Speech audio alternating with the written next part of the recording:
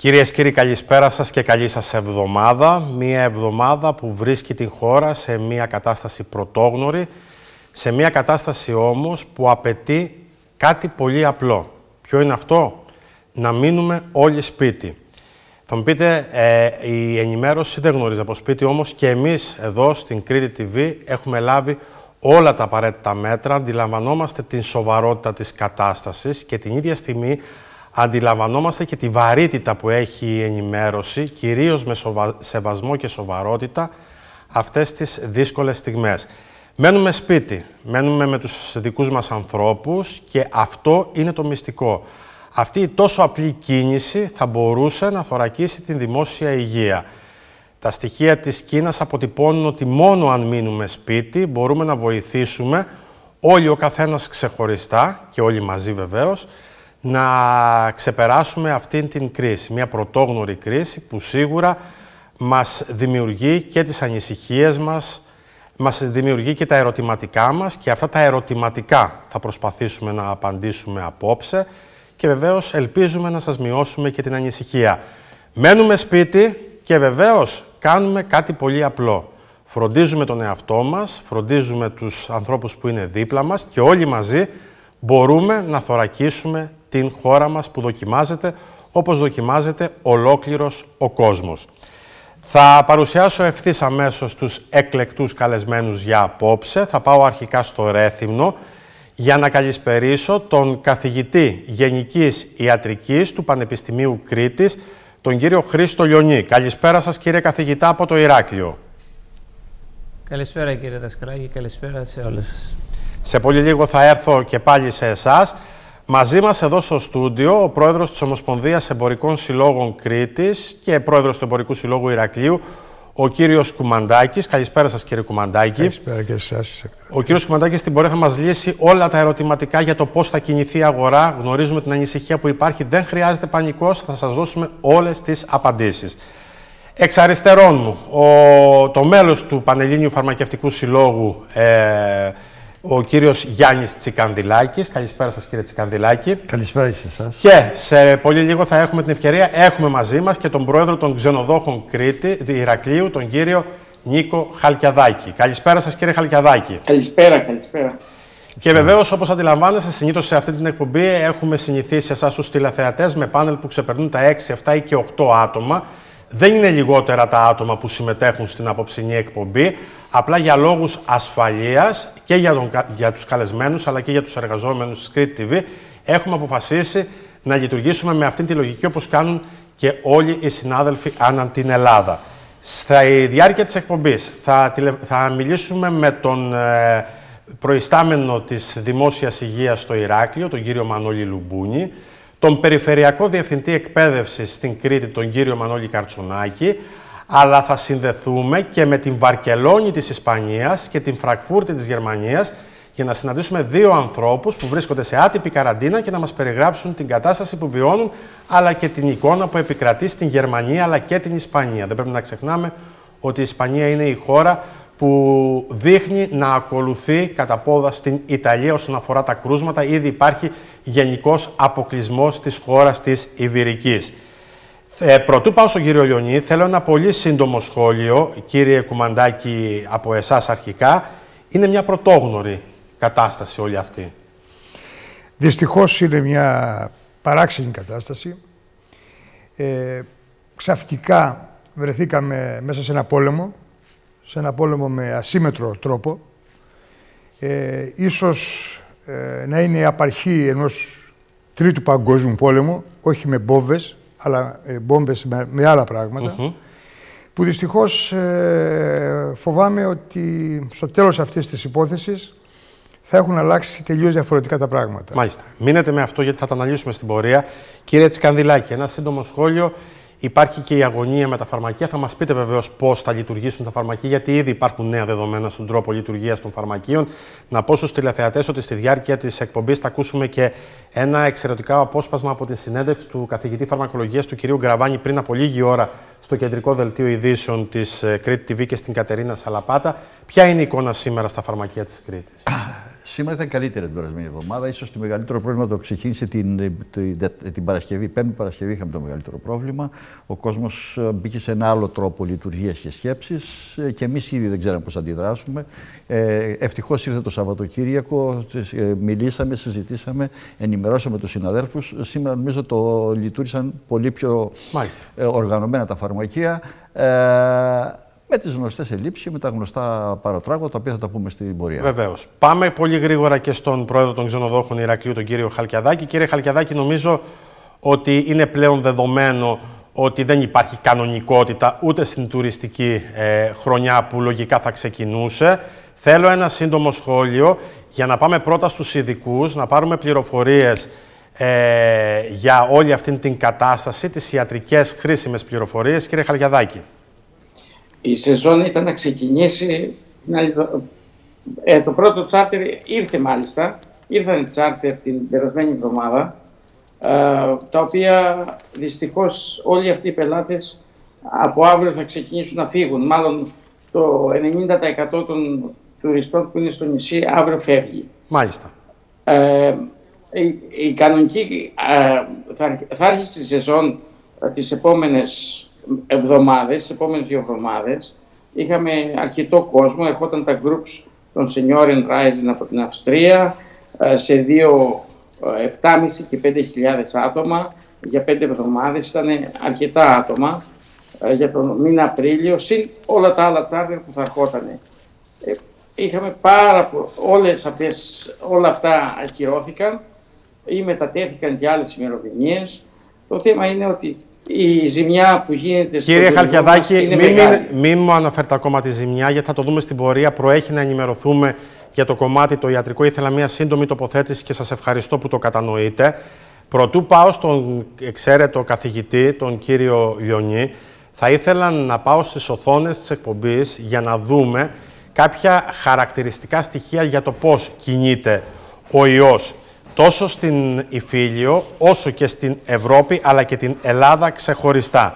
Να σας πω ότι σήμερα είχαμε 21 νέα κρούσματα όπως μας ενημέρωσε στις 6 το απόγευμα ο καθηγητής λοιμοξιολογίας ο κύριος Τσιόδρας. Συνολικά 352 σε ολόκληρη την χώρα, τρία παραμένουν τα επιβεβαιωμένα κρούσματα στην Κρήτη.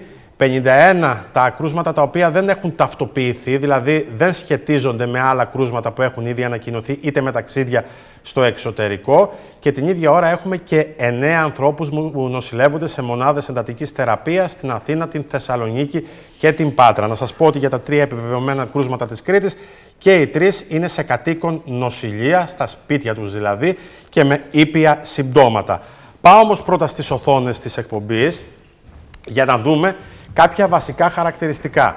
Βλέπουμε πλέον ότι η πανδημία ε, ξεκίνησε από την Κίνα, όμως έχει μετατοπιστεί στην ε, Γυραιά Ήπειρο και στον επόμενο χάρτη θα το δούμε αυτό πολύ καλύτερα. Χθες, ας πούμε, από την Κίνα έληξε και η καραντίνα. Βλέπουμε λοιπόν ότι αυτή τη στιγμή πέρα από την Ιταλία, Ισπανία, Γαλλία, η Γερμανία, χώρες της Κεντρικής και Βόρειας Ευρώπης, αλλά και το Ηνωμένο Βασίλειο, όπως και χώρες της Βαλκανικής, δεν εξαιρώ την Ελλάδα, βρίσκονται στο επίκεντρο αυτής της επιδημίας.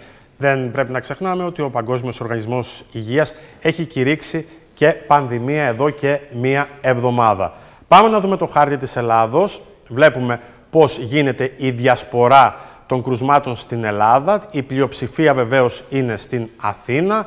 Ακολουθεί η Πάτρα, η Θεσσαλονίκη, περιοχές της ενδοχώρας στην κεντρική Μακεδονία, η Ζάκυνθος, η Κρήτη και η Λέσβος. Έχουμε τα πρώτα κρούσματα στην ε, Τουρκία, μάλιστα από εκεί υπάρχουν και μέτρα λέει, που θα ληφθούν προσεχώς. Και βεβαίως η Κύπρος. Πάμε να δούμε πολύ γρήγορα τον επόμενο χάρτη. Βλέπουμε λοιπόν ότι πλέον η Ιταλία είναι το επίκεντρο αυτής της πανδημίας. Είναι στην πρώτη θέση για πρώτη φορά σήμερα η Ιταλία πέρασε μπροστά από την Κίνα. Η καραντίνα στην Κίνα έληξε χθες. Σιγά σιγά η χώρα επιστρέφει στην κανονικότητα.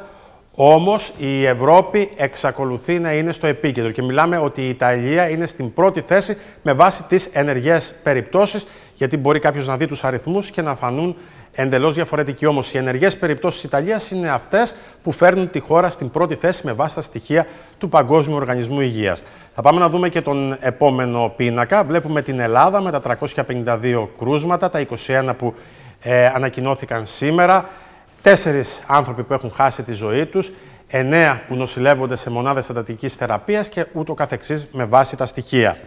Θα δούμε έναν ακόμα πίνακα που έχει πολύ μεγάλο ενδιαφέρον. Βλέπουμε τα στοιχεία όπως αυτά διαμορφώνονται με βάση τα συμπτώματα. Δηλαδή, κορονοϊός, ε, κρυολόγημα και γρήπη. Ε, θα το βλέπουμε ε, αναταχτά χρονικά διαστήματα αυτό στη διάρκεια της ε, εκπομπής. Έχει πολύ μεγάλο ενδιαφέρον γιατί πολλές φορές ένα σύμπτωμα μπορεί να δημιουργήσει ένα πανικό. Αυτό που μπορούμε να σας πούμε με σιγουριά είναι ότι με ένα απλό σύμπτωμα θα ήταν πρέπον, θα ήταν το σωστό και αυτό πρέπει να γίνει. Μένουμε σπίτι μέχρι να υποχωρήσουν αυτά τα συμπτώματα. Βλέπετε τις ε, διαφορές ανάμεσα στον κορονοϊό, το κρυολόγημα και την γρήπη. Και πάμε και στο επόμενο και τελευταίο που για μένα είναι πάρα πολύ σημαντικό. Βλέπουμε πώς είναι η διασπορά του ιού, του κορονοϊού, όταν δεν λαμβάνονται μέτρα, δηλαδή όταν δεν έχουν ληφθεί μέτρα όπως αυτά που βιώνουμε εμείς αλλά και πολλές άλλες χώρες, αυτό είναι στην αριστερά, αριστερή πλευρά της οθόνης, εκεί που υπάρχει μεγάλη κινητικότητα και βλέπουμε πώς διασπείρεται ο ιός όταν λαμβάνονται μέτρα. Είναι από την δεξιά πλευρά της οθόνης. Αντιλαμβάνεστε τη διαφορά. Αντιλαμβάνεστε πόσο σημαντικό είναι να μείνουμε στα σπίτια μας. Αν μείνουμε όλοι στα σπίτια με υπομονή, ψυχραιμία, μπορούμε να βρούμε να κάνουμε πράγματα σημαντικά. Αντιλαμβάνεστε ότι σε, πολύ, σε ένα ε, σημαντικό χρονικό διάστημα, αυτό το ξέρουν οι ειδικοί, θα μπορούμε να μηδενίσουμε τα κρούσματα. Και αυτό είναι το ζητούμενο. Οι ειδικοί λένε περίπου 4 με 6 εβδομάδες. Όσο χρειαστεί, μένουμε στα σπίτια μας. Δεν χρειάζονται ούτε λεονταρισμοί, δεν, χρειάζονται ούτε, δεν χρειάζεται ούτε πανικός, ψυχραιμία και ακούμε τους ειδικούς. Οι ειδικοί λένε μένουμε στο σπίτι μας και πρέπει να κάνουμε αυτό.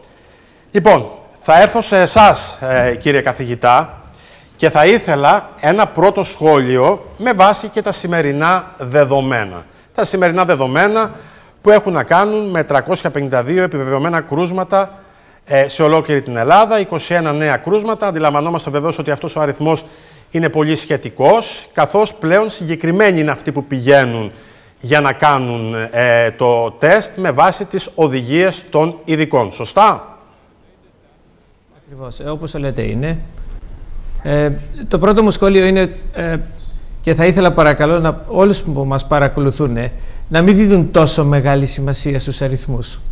Είναι αλήθεια ότι τα μηνύματα από τα μέσα ενημέρωσης ε, προκαλούν ιδιαίτερο φόβο, ε, κρατάνε ένα μεγάλο μέρος της κοινωνίας σε πανικό, δημιουργούν έντονο στρες που ελπίζω θα συζητήσουμε μετά και δεν βοηθούν.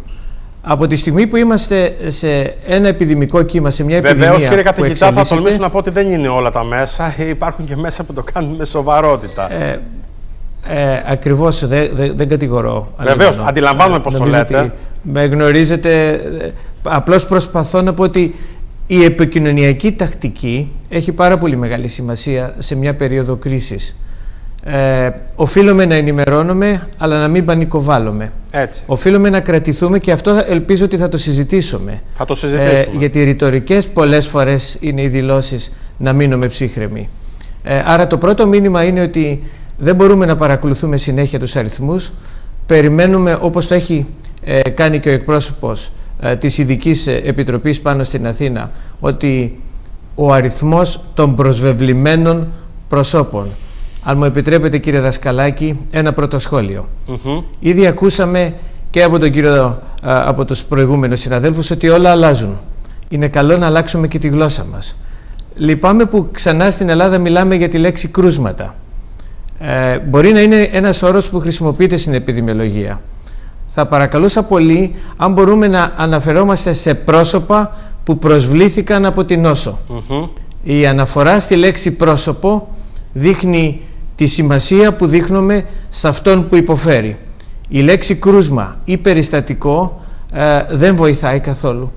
Και στην αλλαγή που όλοι βλέπουμε ότι έρχεται, αλλαγή στη γλώσσα, αλλαγή στην επικοινωνία, αλλαγή στα μηνύματα, ίσως και οι λέξεις με τα νοήματά τους να έχουν ιδιαίτερη σημασία. Αντιλαμβανόμαστε ακριβώς τι λέτε κύριε καθηγητά. Ε, πάντοτε ο λόγος σας έχει ιδιαίτερη βαρύτητα Σας έχω παρακολουθήσει σε όλες τις δημόσιες τοποθετήσεις σας τις τελευταίες 15 ημέρες. Γι' αυτό επέλεξα να είστε και σήμερα εδώ. Ε, θέλω το πρώτο σχόλιο σας όσον αφορά αυτούς τους αριθμούς. Ε, το πρώτο σχόλιο όσον αφορά τον αριθμό. Ευχαριστώ πολύ. Το πρώτο σχόλιο όσον αφορά τον αριθμό, όπως καταλαβαίνετε, ο αριθμός, ο αριθμητής των α, περιπτώσεων των προσώπων που είναι προσβεβλημένοι εξαρτάται από τον παρονομαστή ε, που αν μη τι άλλο είναι τα πρόσωπα που ε, υποβλήθηκαν σε διαγνωστικές δοκιμασίες. Γνωρίζετε ε, ότι ο ΕΟΔΗ και η ειδική επιτροπή που ασχολείται έχει δώσει πλέον σαφείς συγκεκριμένες οδηγίες για το ποιοι θα ελέγχονται. έτσι λοιπόν είναι φυσικό ότι περιλαμβάνονται μόνο οι πιο σοβαρές ή επιλεγμένες περιπτώσεις και έτσι δεν έχουμε ε, τη δυνατότητα να χρησιμοποιούμε τα διαγνωστικά τεστ, τις διαγνωστικές δοκιμασίες σε μεγάλο αριθμό γιατί είναι γνωστό ότι όσο περισσότερο τα χρησιμοποιήσουμε τόσο περισσότερες ακόμη και ε, πρόσωπα χωρίς συμπτώματα θα ανακαλύψουμε.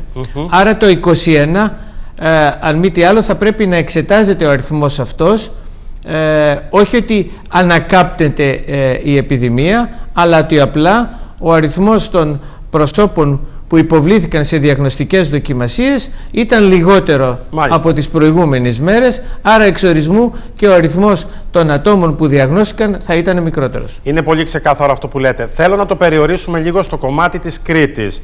Στην Κρήτη έχουμε τρία επιβεβαιωμένα κρούσματα. Βεβαίως και η Κρήτη ε, σχετίζεται με αυτό που είπατε πριν από λίγο. Όμως ε, θα μπορούσε να υπάρξει μια συγκρατημένη αισιοδοξία για την Κρήτη, με δεδομένο ότι έχουμε να ακούσουμε επιβεβαιωμένο κρούσμα για 3 24 ώρα. Ε, είναι πολύ σημαντικό ε, και είναι και μία πρόταση που καταθέσαμε και σαν ιατρική σχολή, σαν ε, το πανεπιστημιακό, η πανεπιστημιακή μας κλινική, για την ανάπτυξη μιας μεγάλης βάσης δεδομένων που θα εξετάζει με τη χρήση χωροχρονικών ε, μοντέλων. Υπάρχουν οι κατάλληλοι επιστήμονες στην Κρήτη και στην ιατρική σχολή και σε άλλες υπηρεσίες που θα μπορούσαν πραγματικά να παρακολουθήσουν ε, τις καταγραφές και να τις συνδυάσουν ε, με συγκεκριμένες άλλες συνθήκες ακόμη και με τη θερμοκρασία και την υγρασία και τη γεωγραφία του τόπου για να μπορέσουν να δώσουν μια σαφέστερη εικόνα. Γιατί είναι αλήθεια ότι οι διακυμάνσεις και διαφοροποιήσεις στο ρυθμό ανάπτυξης ε, είναι λογικό να παρατηρούνται ε, και ε, στη χώρα μας. Μια τέτοια δυνατότητα, μια τέτοια πρόταση έχει ήδη κατατεθεί. Η ιατρική σχολή έχει τη δυνατότητα με ειδικούς επιστήμονες να μπορεί να μετεγράψει αυτή την πληροφορία σε, σε μοντέλα προγνωστικά. Δεν θα ήθελα να μπω σε μια μελλοντολογία για την Κρήτη, αλλά είναι αλήθεια από πολλές και διάφορες ε, εκτιμήσεις ότι είναι δυνατόν η Κρήτη να παρουσιάζει σε σχέση με τις άλλες περιφέρειες ε, τάσεις που αν μη τι άλλο υποδεικνύουν ε, μια μεγαλύτερη επιβράδυνση της επιδημίας. Θα μπορούσαμε δηλαδή κύριε καθηγητά να πούμε ότι όταν αυτή η επιδημία στη χώρα μας φτάσει στο peak θα μπορούσε να επισκεφθεί τελευταία την Κρήτη και να την εγκαταλείψει και πρώτη σε σχέση με άλλες περιφέρειες. Ε, είναι πολύ δύσκολες οι ερωτήσεις και είναι πολύ, πρέπει να είμαστε πάρα πολύ προσεκτικοί γιατί οποιοδήποτε μήνυμα που μπορεί οποιοδήποτε επιστήμονας διατυπ, ε, ε, δια, μεταφέρει ε, πολύ φοβάμαι ότι μπορεί να οδηγήσει στη χαλάρωση των μέτρων. Σε καμία περίπτωση αυτό. Και για αυτούς τους λόγους παρά τις οποιοσδήποτε διαφοροποιήσεις που μπορούν να παρατηρηθούν από περιφέρεια σε περιφέρεια, είναι πολύ σωστό και πολύ σημαντική η στρατηγική αυτή τη στιγμή ε, ε, του Υπουργείου που αναφέρεται και περιλαμβάνει όλες τις περιφέρειες και όλη την Ελλάδα σαν μια ενότητα γιατί διαφορετικά μια διαφορετική προσέγγιση ή ακόμη μια διαφορετική ανάγνωση των αριθμών μπορούσε να βάλει σε περιπέτειες Άλλωστε, κύριε καθηγητά, είναι χαρακτηριστικό το παράδειγμα της Ιταλίας. Όλα ξεκίνησαν από τη Λομβαρδία, όμως στην πορεία είδαμε και τη Νότια Ιταλία να αντιμετωπίζει σοβαρό πρόβλημα, άρα κανείς δεν εξαιρεί την Κρήτη. Ε, το ερώτημά μου ήταν ερώτημα που είχε να κάνει με βάση τα δεδομένα. Είμαστε μία χώρα και όλοι αντιλαμβανόμαστε ότι Ε, όλοι πρέπει να βγούμε νικητές από αυτή τη διαδικασία. Όλη η χώρα πρέπει να μείνει στο σπίτι. Η Κρήτη δεν αποτελεί εξαίρεση. Ε, το λέω όλες τις μέρες. Ε, από την αρχή της εκπομπής το έχω πει τουλάχιστον 10 φορές. Να μεταφέρω μόνο ε, πάνω σε αυτό ε, εκτιμήσεις από δεδομένα της υγείας. ε, παρόλο που μιλάμε για τον κριτικό λαό που με πάρα πολλά συναισθήματα, δηλαδή αυτή τη μεγάλη ομορφιά που έχει, ε, πολλά συναισθήματα και πώς τα εκφράζει, είναι αλήθεια, και αυτό δεν το δείχνει μόνο η ιστορία του, αλλά και άλλα δεδομένα ότι είναι γενικά ένας πειθαρχημένος λαός. Έτσι, ε, η ανάγνωση των προηγούμενων ετών όσον αφορά τα ποσοστά εμβολιασμών ε, στους ενήλικες ε, και ο κύριος Ικανδυλάκης θα μπορεί να πει αρκετά σε αυτό, ε, δείχνει την Κρήτη πραγματικά να, να προηγείται. Υπάρχουν μια σειρά αποδεδομένα στην υγεία που δείχνουν ότι τουλάχιστον ο κριτικός λαός ε, πειθαρχεί ε, ίσως σε πολύ ψηλό βαθμό σε σχέση με άλλες περιφέρειες. Και, αυτό, αυτό αποτυπώθηκε κύριε καθηγητά μέσα στις προηγούμενες δύο ημέρες. να δείξουν και αυτή τη φορά αυτή την πειθαρχία. Θα πάμε σε ένα πρώτο διαφημιστικό διάλειμμα και με την επιστροφή θα σταθούμε λίγο στο Εθνικό Σύστημα Υγείας, ε, στο πώς μπορεί να ανταποκριθεί, αλλά και τι πρέπει να κάνουμε εμείς, ε, κύριε καθηγητά, για να μην επιβαρύνουμε το Εθνικό Σύστημα Υγείας που αναμένεται να σηκώσει ένα πολύ μεγάλο βάρος, το σημαντικότερο βάρος αυτής της προσπάθειας. Πάμε σε διαφημίσεις και επανερχόμαστε. Επιστρέψαμε ε, τρία μόλις λεπτά μετά τις 10 και μισή, όλα για τον κορονοϊό, αλήθειες και όλα αυτά τα οποία πρέπει να ακολουθήσουμε. Μένουμε σπίτι, αυτή είναι η λύση, αυτή είναι η διαδικασία που πρέπει να ακολουθήσουμε για να καταφέρουμε να θωρακίσουμε τον εαυτό μας, τους ανθρώπους που αγαπάμε, την πόλη μας, τη χώρα μας, τους πάντες. Και ε, συζητούσαμε με τον καθηγητή Γενικής Ιατρικής ε, στο Ρέθνο, τον κύριο Λιονί. Κύριε Λιονί, θα σας έχω ακόμα για μερικά λεπτά στην αναμονή για να βάλω στην παρέα μας τον προϊστάμενο της Διεύθυνσης Δημόσιας Υγείας στο Ηράκλειο, τον γιατρό τον κύριο Μανώλη Λουμπούνη. Είναι ένας άνθρωπος που εδώ και περίπου δύο μήνες παρακολουθεί στενά όλη αυτή την εξέλιξη ε, της διασποράς του κορονοϊού ανά την Ιφίλιο. Κύριε Λουμπούνη, θυμάμαι, καλησπέρα σας καταρχήν, πριν από ένα μήνα περίπου, που κάναμε και την πρώτη εκπομπή εδώ στην Κρήτη TV, είναι κάτι παραπάνω από ένας μήνας, είπατε ότι δεν είναι τόσο απλά τα πράγματα, γιατί τότε υπήρχε μια συγκρατημένη αισιοδοξία με βάση τα στοιχεία που προέκυπταν από την Ουχάν της Κίνας και γενικότερα από την, Ασιατική, από την Ήπειρο της Ασίας. Και να που φτάσαμε στο σημείο να ζούμε μια πρωτόγνωρη κατάσταση. Θα ήθελα ένα πρώτο σχόλιο με βάση τα σημερινά δεδομένα, κύριε Λουμπούνης. Είστε ένας πολύ έμπειρος άνθρωπος, ένας πολύ έμπειρος επιστήμονας. Γνωρίζετε πάρα πολύ καλά αυτήν την εξέλιξη και την παρακολουθείτε στενά τώρα και δύο μήνες. Ε, κοιτάξτε, σήμερα πιστεύω ότι έχει ξεκαθαρίσει η κατάσταση ότι πραγματικά δεν πρόκειται για κάτι απλό. Ε, έχει φανερωθεί αρκετά η δυναμική του ιού, έχει φανερωθεί οι δυνατότητες που έχει να πλήξει κοινωνίες, ακόμα και κοινωνίες με υγειονομικά συστήματα ε, πολύ ισχυρά και εύρωστα και συνεπώς το τελευταίο πράγμα που πρέπει να κάνει κανείς είναι να αδιαφορήσει και να μένει χωρίς μέτρα ε, όπως παραδείγματος χάρη ότι αυτό που φημολογείται ότι ακούμε από τις, ε, το Ηνωμένο Βασίλειο και τη Μεγάλη Βρετανία. Ε, ζωντανό είναι το παράδειγμα της Κίνας που μετά, μέσα από πραγματικά δρακόντια μέτρα ε, και θαυμαστά τα οποία πιστεύω καμία δυτική χώρα σε τέτοιο βαθμό δεν θα μπορούσε να πάρει. Ε, κα, κατάφερε να θέσει σε έλεγχο την επιδημία, κατάφερε να έχει ε, με τεράστια μείωση σε κρούσματα και αριθμό θανάτων ε, και θα συμφωνήσω με τον καθηγητή μου τον κύριο Λενή ότι ναι, σωστά, δεν πρέπει να μιλάμε για κρούσματα, πρέπει να μιλάμε ανθρώπους γιατί πίσω από κάθε κρούσματα ε, βρίσκεται ένας άνθρωπος, μια ανθρώπινη ψυχή, μια ανθρώπινη ιστορία. Συνεπώς ε, πραγματικά ο ιός πλήττει αυτή τη, τη, στιγμή όλη την Ιφίλιο. Ε, είναι ευτύχημα πρέπει να πούμε ότι προς το παρόν και είναι και ένα ερώτημα ε, επιστημονικό που μένει να ερευνηθεί και να απαντηθεί. Ε, γιατί δεν έχει πάει σε χώρες όπως τις, την Ήπειρο, την Αφρικανική Ήπειρο. Ή, ενδεχομένως και την Ινδία που έχουν συστήματα υγειονομικά ε, πάρα πολύ χαμηλά, χαμηλής ε, αποδοτικότητας και δυνατότητας και η φόβη μας όλη την αρχή ήταν να μην πάνε σε αυτές τις χώρες. Τώρα βλέπουμε όμως ότι έχει πάει στις προηγμένες χώρες, τις χώρες με δυνατά συστήματα υγείας, που δοκιμάζονται παρόλα αυτά. Αυτό ήταν και ο, αυτός ήταν και ο προβληματισμός σας πριν από ένα μήνα, κύριε Λουμπούνι. Και τελικά Ναι, ναι, φαίνεται ναι. ότι πλήττει κυρίως τον λεγόμενο δυτικό κόσμο.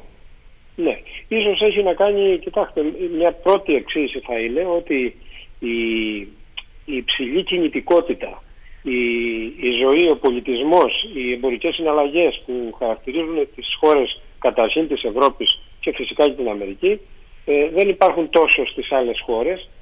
Μία, μία απάντηση θα ήταν αυτή. Η δεύτερη είναι ότι η πληροφόρηση από χώρες όπως η Ινδία που είπα πριν ή οι αφρικανικές χώρες ενδεχομένως είναι μικρότερες. Ή παράδειγμα και η Τουρκία. Κύριε Λουμπούνι, θα σας φέρω στα δικά μας, εδώ στην Ελλάδα. Ναι, 21, κρου- 21 πολίτες που σήμερα ανακοινώθηκε από τον κύριο Τσιόδρα έχουν μολυνθεί από τον κορονοϊό, 352 στο σύνολο, τρεις στην Κρήτη. Βεβαίως όλοι αντιλαμβανόμαστε ότι αυτή η αριθμή είναι σχετική. Νομίζω ότι το ξεκαθάρισε με πολύ εύστοχο τρόπο ο καθηγητής ο κύριος Λιονής. Είναι με βάση τον αριθμό αυτών που εξετάστηκαν τις τελευταίες ημέρες. Θέλω όμως ένα σχόλιο για αυτήν την πραγματικότητα και μία ε, έτσι πρόβλεψη με βάση την εμπειρία πώς θα κινηθεί αυτή η κατάσταση από εδώ και πέρα, με δεδομένο ότι έχουν ληφθεί σοβαρά μέτρα και στη χώρα μας. Βέβαια και πρέπει να πούμε ότι ε, σ- στο βαθμό που τα μέτρα αυτά έχουν ληφθεί στην Ελλάδα ίσως είναι η ταχύτερη αντίδραση σε χρόνο συ- σχετικά με την, με την εξέλιξη της επιδημίας σε όλες τις χώρες. Δηλαδή εμείς σε σχέση με, με τους αριθμούς που ξέραμε και που ήταν στην αντίληψη των επιστημόνων της επιδημιολογικής ομάδας του κ. Τσιόδρα τα, τα μέτρα έχουν πάρθει πάρα πολύ γρήγορα. Μακάρι αυτό να αποδειχθεί στο τέλος ότι ήταν η, η, πώς να το πούμε, η επιτυχημένη κίνηση για να θέσει σε έλεγχο την επιδημία. Και όπως είπατε και πριν, ε, έχουμε μια καλή παράδοση, πα, παρόλες τις εξαιρέσεις, μια καλή παράδοση σε, στην πειθαρχία, ιδιαίτερα στην Κρήτη, που όπως είπατε ότι οι εμβολιασμοί, όπως είπε και ο κ. Ιωνής, είναι σε ένα πολύ ψηλό επίπεδο. Ε, ελπίζω αυτό να διατηρηθεί. Το μένουμε σπίτι ήταν ένα, ένα σύνθημα που το έδωσε πρώτος, αν θυμάστε, ο κύριος ο Ιταλός Πρωθυπουργός που το είπε τούτη ακάζα. Δηλαδή πραγματικά πρέπει να μένουμε στα σπίτια και όπως είπε και ο κύριος Τσιόδρας προχθές, ο ιός δεν μεταφέρεται από τον αέρα. Άνθρωποι τον μεταφέρουν. Κατά συνέπεια, κατά συνέπεια ε, εάν μείνουμε και περιορίσουμε τις επαφές μας και ακόμα και μέσα στο σπίτι να είμαστε πάρα πολύ προσεκτικοί ενδοοικογενειακά, έτσι, το οποίο το έχω πει μερικές φορές σε εκπομπές, ότι μετράει πάρα πολύ και οι ενδοοικο- τα ενδοοικογενειακά μέτρα υγιεινής. Τα ενδοοικογενειακά Έχουμε μέτρα κοινές υγιεινής, πετσέτες. θέλετε λίγο να Ναι. μας τα εξειδικεύσετε έτσι πολύ γρήγορα; Τι πρέπει Τα να οποία κάνουμε είναι όταν μένουμε δασκαλάκι, σπίτι; Ναι, τα οποία δεν είναι ας πούμε κάτι που αφορά μόνο τον κορονοϊό. Είναι γενικότερα μέτρα που αφορούν την ατομική υγιεινή των μελών μιας οικογένειας. Παράδειγμα, έχω πει ότι οι πετσέτες στο μπάνιο δεν πρέπει να είναι κοινόχρηστη πετσέτα για όλους. Ο καθένας πρέπει να έχει την ατομική του πετσέτα όπως κάνουμε ας πούμε, όταν μπαίνουμε σε ένα ξενοδοχείο ή στο καράβι που έχουμε μια ατομική πετσέτα δίπλα στο μαξιλάρι μας και εκεί να είναι. Βέβαια σήμερα λέμε ότι καλό είναι και στο σπίτι ακόμα να σκουπίζουμε τα χέρια μας με χαρτί.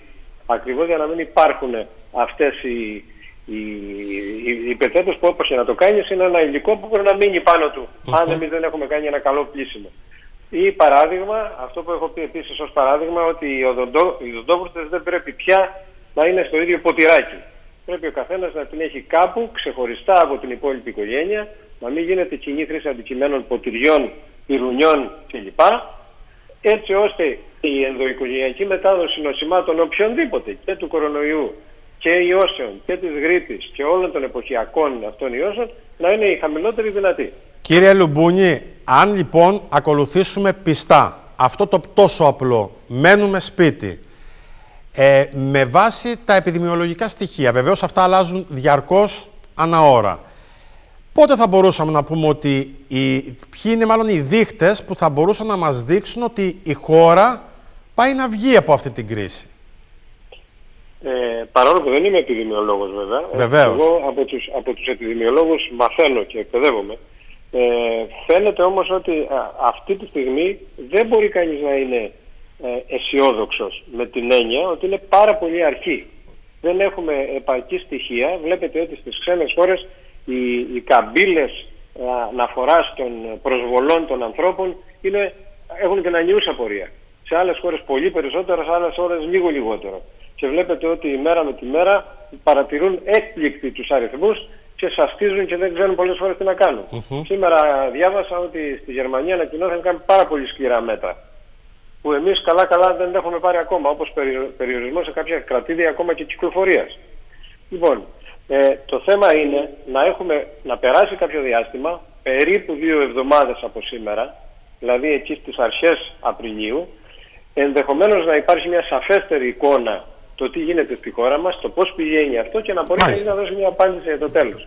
Πάντως, για να μην είμαστε υπερβολικά αισιόδοξοι, τα, τα χαρακτηριστικά αυτού του ιού είναι χαρακτηριστικά ιού που θα, που θα μείνει. Δεν, δεν θα είναι εύκολο να εξαλειφθεί και να περάσουμε ένα καλοκαίρι ξεκάθαρο όπως ενδεχομένως πολλοί περιμένουν. Αυτή είναι η προσωπική μου άποψη και όπως έχω, η εντύπωση που έχω σχηματίσει. Έτσι. Κύριε Λουμπούνι, θέλω να σας ευχαριστήσω πάρα πολύ για την παρέμβασή σας. Ε, να σας ευχηθώ καλό βράδυ, καλή δύναμη.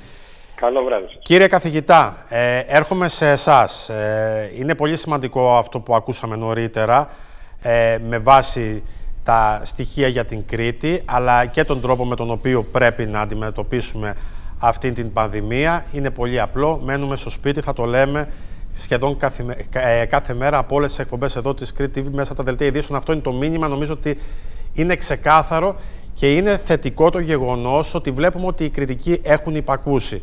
Θέλω να σας πάω όμως λίγο στο κομμάτι της, ε, του στρες. Και γιατί το λέω αυτό; Είστε ένας άνθρωπος που έχει κάνει μία τοποθέτηση πολύ σημαντική. Πώς το στρες, το χρόνιο στρες, θα μπορούσε να προκαλέσει ακόμα περισσότερες δυσκολίες σε αυτήν την έλλειψη κανονικότητας; Γιατί αυτό που βιώνουμε δεν είναι μια κανονικότητα. Και υπάρχει και μια επιστημονική εξήγηση γι' αυτό, κύριε καθηγητά, σωστά; Ναι, ευχαριστώ πάρα πολύ. Ε, είναι αλήθεια ότι, ότι ε, πρέπει να χρησιμοποιούμε αυτή τη δοκιμασία, επιτρέψτε μου αυτό τον όρο δοκιμασία, ε, περισσότερο για να μάθουμε. είναι αλήθεια ότι ο πολιτισμός μας, σε εισαγωγικά ή όχι, έχει φτάσει σε ένα ακραίο σημείο. όλοι αντιλαμβανόμαστε ότι αυτή η δοκιμασία, η εμπειρία μας αλλάζει και μετά την ύφεση της επιδημίας Όλοι εκτιμούμε ότι ο κόσμος μας θα είναι διαφορετικός. Συνεπώς από τώρα πρέπει ουσιαστικά να ψάχνουμε και να αναζητούμε και να εξετάζουμε τι ήταν αυτό που δεν κάναμε και τι είναι αυτό που θα κάνουμε την επόμενη μέρα. Γιατί είναι σαφέστατο ότι θα υπάρξει η μέρα και είναι σαφέστατο ότι θα υπάρξει και ένας καινούριο πολιτισμός. Ανήκω σε αυτούς τους αισιόδοξους. Και αυτό τον πολιτισμό κύριε Δασκαλάκη και αυτό το φως το κρύβει μια εξαιρετική νεότητα που έχουμε που πρέπει να χρησιμοποιήσει όμως και την παράδοση, αλλά θα πρέπει να χρησιμοποιήσει και τη γνώση. Έτσι μιλήσατε για στρες. Ε, αν ψάξουμε στην αρχαία Ελλάδα, ε, θα βρούμε εξαιρετικές προσεγγίσεις των αρχαίων Ελλήνων. Ο Πυθαγόρας μίλησε για την αυτογνωσία και μίλησε μέσα από τη φιλοσοφική του σκέψη για να ενδυναμώσει εκείνη την περίοδο.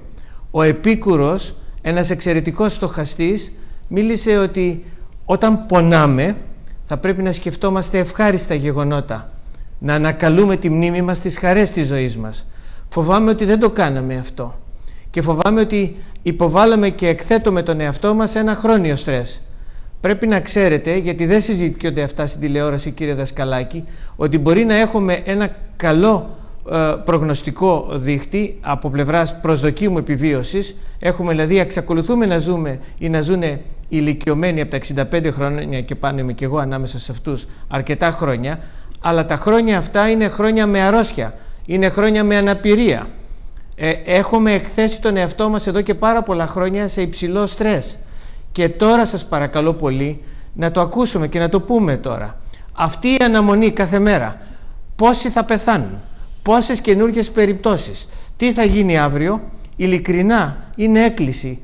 Πρέπει να κλείσει αυτό το κεφάλαιο.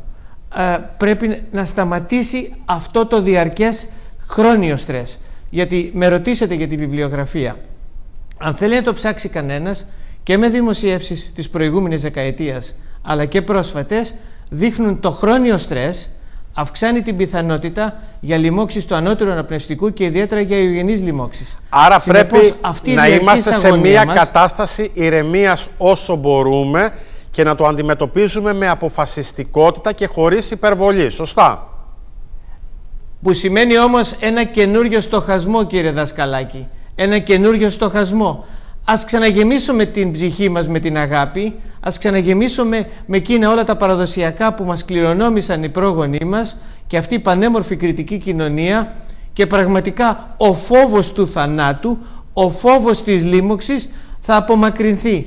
Όχι για να ατονίσουμε τα μέτρα μας ή την προστασία μας που είναι η προστασία και των άλλων και η δική μας, αλλά για να ενισχύσουμε και τον εαυτό μας. Χρειαζόμαστε και αυτή τη διάσταση που όμως δεν γίνεται μόνο με ρητορικές λέξεις, μείνετε ψύχρεμοι, αλλά με έναν στοχασμό αυτόν που τον είχαμε ξεχάσει. Αληθεύει κύριε καθηγητά ότι όλο αυτό το χρόνιο στρες πολλές φορές μπορεί να θυποβάλει τον ίδιο τον οργανισμό να βιώνει τα συμπτώματα ενώ δεν τα έχει; Ε, ε, κύριε Δασκαλάκη, αν θα διαβάσει κανένας γιατί μεταφέρομαι νέα, ε, ήδη δύο πολύ μεγάλες φαρμακευτικές εταιρείες ε, έχουν βάλει κλινικές δοκιμές μεγάλων φαρμάκων ε, που ε, είχαν χρησιμοποιηθεί και χρησιμοποιούνται ακόμη για τη θεραπεία της ρευματοειδούς αρθρίτιδος.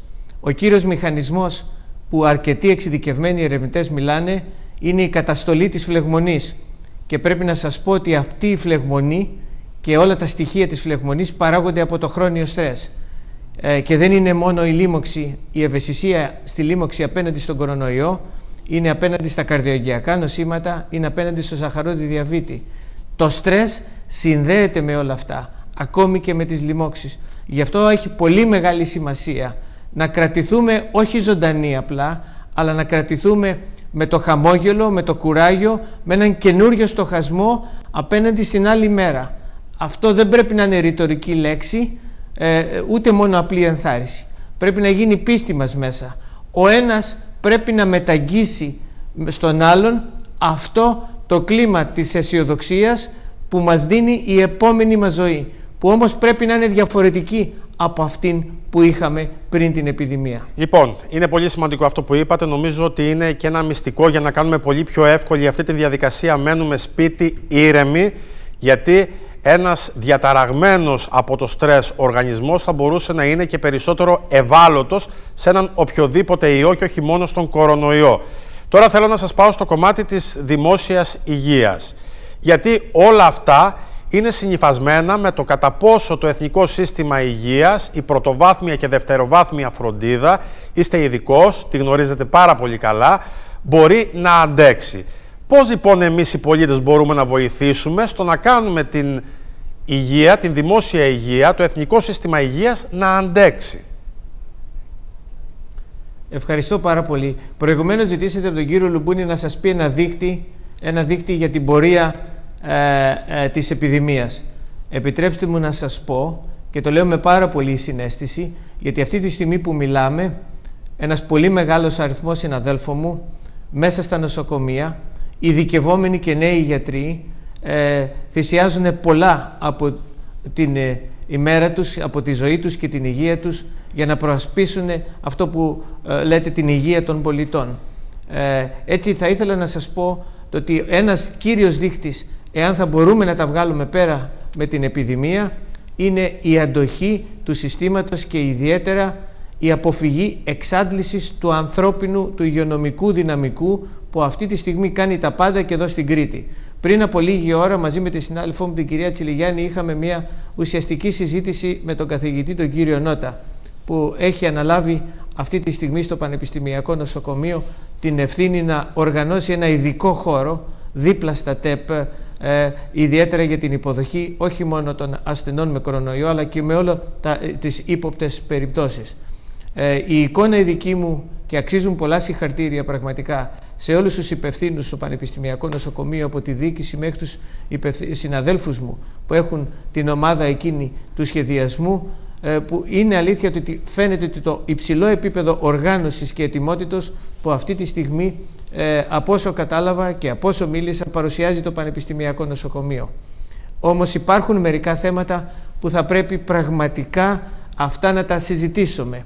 Τα θέματα αυτά είναι ότι θα πρέπει να αποφευθεί η οποιαδήποτε ε, ε, η επιβάρηση του τμήματος επιγόντων ε, περιπτώσεων με, με ανθρώπους που πραγματικά οι περιπτώσεις ή προβλήματα υγείας που δεν χρειάζονται να φτάσουν εκεί. Χρειάζεται ουσιαστική υποστήριξη και ενδυνάμωση όλων αυτών των ανθρώπων που είναι έτοιμοι να δώσουν τον καλύτερο τους σε αυτό. Πότε περνάμε το κατόφλι το... ενός νοσοκομείου, κύριε Λιονί. αυτό μπορεί να... ακούστε, υπάρχει μια πρόταση που την έχουμε καταθέσει ε, διάφοροι φορείς και σαφέστατα την έχει αξιολογήσει θετικά η 7η ε, διοίκηση της ΥΠΕ, την οποία την ευχαριστούμε πολύ και είναι και στα χέρια του Υπουργού.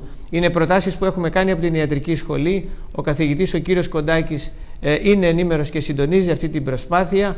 Ο Ιατρικός Σύλλογος Ηρακλείου που πρέπει πραγματικά να υπογραμμίσουμε έχει κάνει στην ίδια κατεύθυνση μια εξαιρετική πρόταση ότι χρειαζόμαστε μια γραμμή μπροστά από το νοσοκομείο που μπορεί πραγματικά εκεί να δει συναδέλφους, ε, ε, να δει ε, συναδέλφους από την πρωτοβάθμια φροντίδα υγείας, από τον ιδιωτικό χώρο, ακόμη και τελειοφύτους ιατρικής, μετά από εντατική εκπαίδευση, ε, σύντομη και συντονισμό με το κέντρο αναφοράς, να αποτελέσουν το πρώτο σημείο επαφής, τη φροντίδα των ανθρώπων στο σπίτι και την παραπομπή εκείνων των επιγουσών περιπτώσεων. Θα σας Αυτό κρατήσω... είναι ένα σχέδιο, ελπίζομαι να μην χρειαστεί. Θα, θα πάμε σε ένα δεύτερο διαφημιστικό διάλειμμα. Έχω να σας θέσω ένα-δυο ερωτήματα. Θα πάμε και στο επόμενο μέρος για λίγο. Και βεβαίως μετά θα ανοίξουμε την ομπρέλα για να το αναλύσουμε αυτό λίγο περισσότερο, γιατί είναι πολύ σημαντικό να βοηθήσουμε όλοι στο να αντέξει το Εθνικό Σύστημα Υγείας και στην Κρήτη και δεν πρέπει να ξεχνάμε το μεγαλείο της προσφοράς αυτών των ανθρώπων που λέγονται γιατροί και νοσηλευτές άνθρωποι που δουλεύουν στις δομές της δημόσιας υγείας. Επιστρέψαμε 11 ακριβώς. Να σας ευχαριστήσουμε για τα μηνύματα και τα ερωτήματά σας. Θα θέσουμε όσο το δυνατόν περισσότερα. Κάποια από αυτά έχουν απαντηθεί. 2810-38000 στο τηλεφωνικό κέντρο της Crete TV. Ώρα εχμής η ομάδα μας στο Facebook και ώρα εχμής στην Crete TV η σελίδα μας στο Facebook. Δασκαλάκης παπάκη.crete.tv.gr το mail της εκπομπής. Ανατακτά χρονικά διαστήματα βλέπετε τους τρόπους επικοινωνίας με την εκπομπή και βεβαίως μένουμε σπίτι για να καταφέρουμε να θωρακίσουμε την υγεία τη δική μας, την υγεία των αγαπημένων ανθρώπων μας και βεβαίως την υγεία όλων των συμπολιτών μας. Θα καλησπερίσω τον καθηγητή λοιμοξιολογίας του Πανεπιστημίου Κρήτης, τον κύριο Αχιλέα Γκίκα και προσωπικό μου φίλο, ιδιαίτερα αγαπητό. Κύριε καθηγητά, καλησπέρα σας. Καλησπέρα κύριε Δασκαλάκη, καλησπέρα φίλε Μάνο.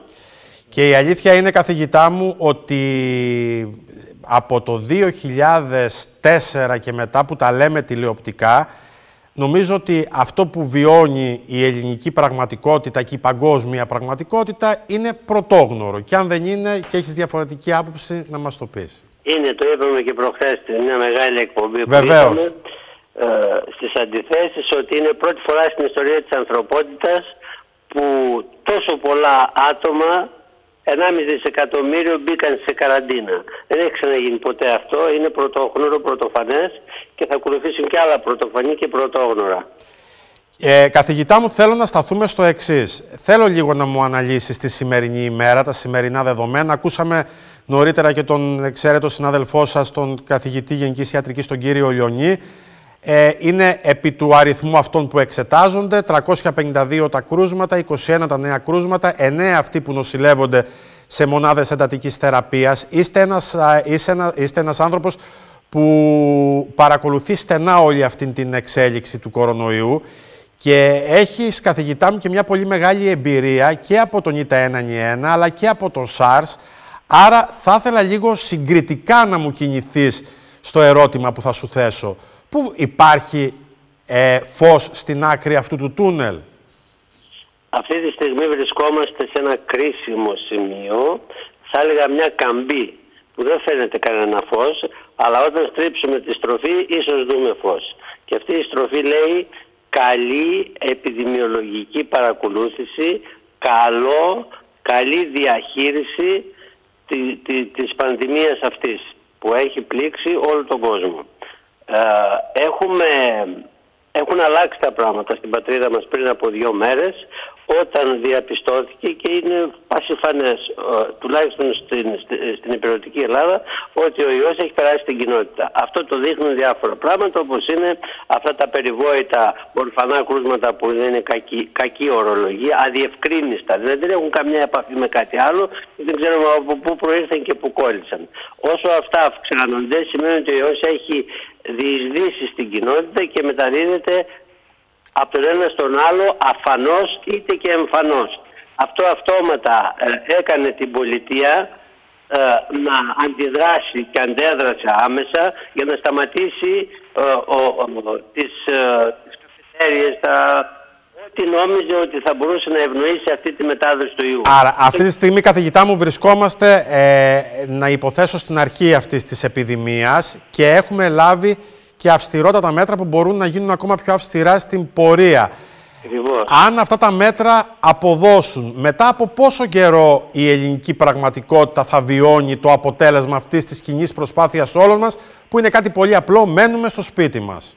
Κοιτάξτε, αυτή τη στιγμή με, με κάθε κίνηση που κάνει η πολιτεία μετά παρακολουθούμε κάποιους δείκτες.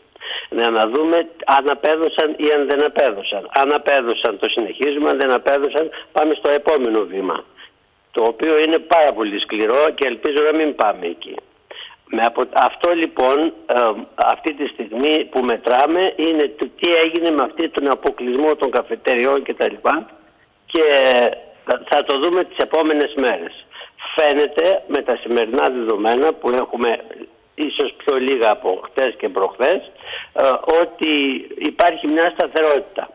Όμως ταυτόχρονα έχουμε χάσει και το μέτρο γιατί πια δεν κάνουμε ανείχνευση των περιστατικών να ξέρουμε ακριβή αριθμό, ξέρουμε περίπου.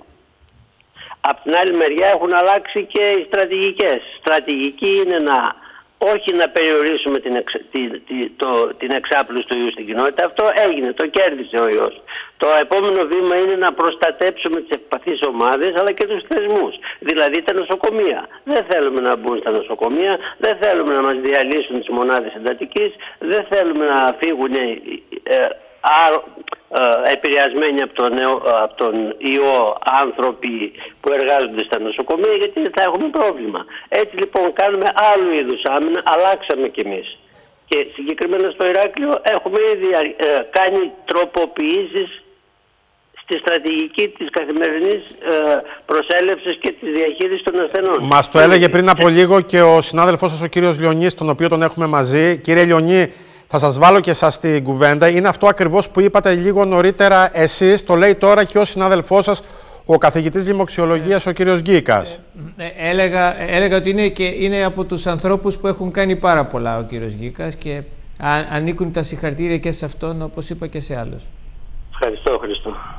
Ε, καθηγητά μου, κύριε Γκίκα, ε, θέλω να μου σχολιάσετε λίγο και τα τρία κρούσματα στην Κρήτη. Αυτά τα τρία επιβεβαιωμένα κρούσματα στην Κρήτη και πώς αυτά τα τρία κρούσματα θα μπορούσαν να προσεγγίσουν μια πιθανή διασπορά. Δεν μπορούμε από αυτά τα τρία κρούσματα να, να προσεγγίσουμε πιθανή διασπορά. Τα τρία κρούσματα αυτά συνέβησαν πριν από μια εβδομάδα και εκεί κόπηκε η, η, η... η ενημέρωση.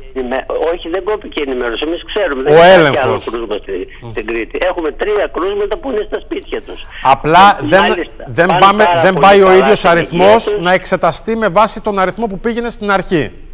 Δεν σας άκουσα, με συγχωρείτε. Δεν είναι ο ίδιος αριθμός που εξετάζεται, δεν είναι ο ίδιος αριθμός δειγμάτων που δινόταν στην αρχή. Γι' αυτό έχουμε αυτή τη διαφορετικότητα, τη διαφοροποίηση στους αριθμούς. Όχι, εμείς στην Κρήτη δεν έχουμε καμία διαφοροποίηση. Δεν έχουμε καμία διαφοροποίηση. Ωραία, να το ξεκαθαρίσουμε αυτό. Εμείς δεν έχουμε αύξηση με την έννοια της απόλυτης αύξησης. Δεν, από προχθές μέχρι σήμερα, αν θυμάμαι καλά, ε, είναι πάνω από 50 ε, ε, τεστ που κάναμε, ήταν όλα αρνητικά. Άρα λοιπόν δεν κινείται τίποτα, φύλλο αυτή τη στιγμή. Ούτε στο Βενιζέλιο, ούτε στο Παγνί. Ελπίζω να, να κερδίσουμε μέρες με, μέρα με μέρα. Είναι κέρδος αυτό, να μην έχεις κρούσματα. Γιατί αυτόματα παρατείνεις το, το, την αντίδραση παρατεί, παρατείνει στην κόποση που θα έρθει στο σύστημα υγείας και όλα αυτά. Θα τολμήσω να ρωτήσω το εξής. Επειδή ε, υπάρχουν πολλοί που συγκρίνουν την κατάσταση που επικρατεί στην Ελλάδα με βάση τους ε, δείκτες των αριθμών με την αντίστοιχη κατάσταση στην Ιταλία αλλά και την Ισπανία. Ε, θέλω να μου κάνετε μια εκτίμηση. Θα συμφωνήσω με αυτό που είπε ο κύριος Λιονής νωρίτερα, ότι πρέπει να είμαστε πολύ προσεκτικοί στις εκτιμήσεις και στις τοποθετήσεις με βάση την εμπειρία σας. Ε, θεωρείτε ότι θα μπορούσαμε να αποφύγουμε την κατάσταση της Ιταλίας; Δεν το έχουμε πει ακόμη, αλλά θα το πω έτσι πρώτη φορά ε, σαν, σαν εκτίμηση. Σήμερα από στη σύσκεψη που κάνουμε, κάθε μέρα κάνουμε briefing στο Πανεπιστημιακό με τον κύριο Χαρκιαδάκη και όλους τους υπόλοιπους οι οποίοι συμμετέχουν σε αυτήν την επιτροπή. Κάθε μέρα κάνουμε briefing. Λοιπόν, στο σημερινό briefing ο αναπληρωτής μας έφερε ένα μαθηματικό μοντέλο το οποίο έχει κάνει ο ίδιος, όπου δείχνει ότι με βάση τα σημερινά δεδομένα στον ελληνικό χώρο είμαστε περίπου 16 με 17 μέρες πίσω από την ιταλια Αυτό είναι πάρα πολύ ενθαρρυντικό. Δεν ξέρω πόσο αλήθεια ή πρόβλεψη είναι, αλλά αυτό είναι πάρα πολύ σημαντικό. Άρα το μυστικό το κρατάμε εμείς οι ίδιοι οι πολίτες στα χέρια μας. Είμαστε 16 με 17 μέρες πίσω από την Ιταλία.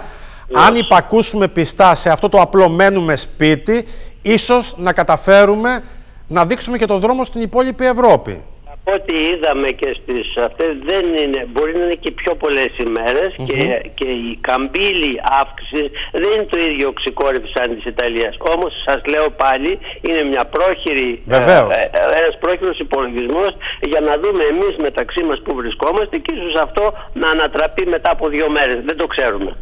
Κύριε Λιονί, βάζω και, σε, και εσάς την κουβέντα. Είναι πολύ σημαντικό λοιπόν αυτό που λέει ο κύριος Γκίκας, ότι όλοι οι πολίτες, γιατί κανείς δεν μπορεί να ξεχάσει αυτή την η τιτάνια προσπάθεια που, κάνουν, ε, που κάνετε εσείς οι γιατροί, οι νοσηλευτές, οι άνθρωποι που εργάζεστε στη δημόσια υγεία, όμως πλέον και ο κάθε πολίτης ξεχωριστά πρέπει να λάβει σοβαρά υπόψη του ότι με τη δική του τακτική βοηθάει το σύνολο.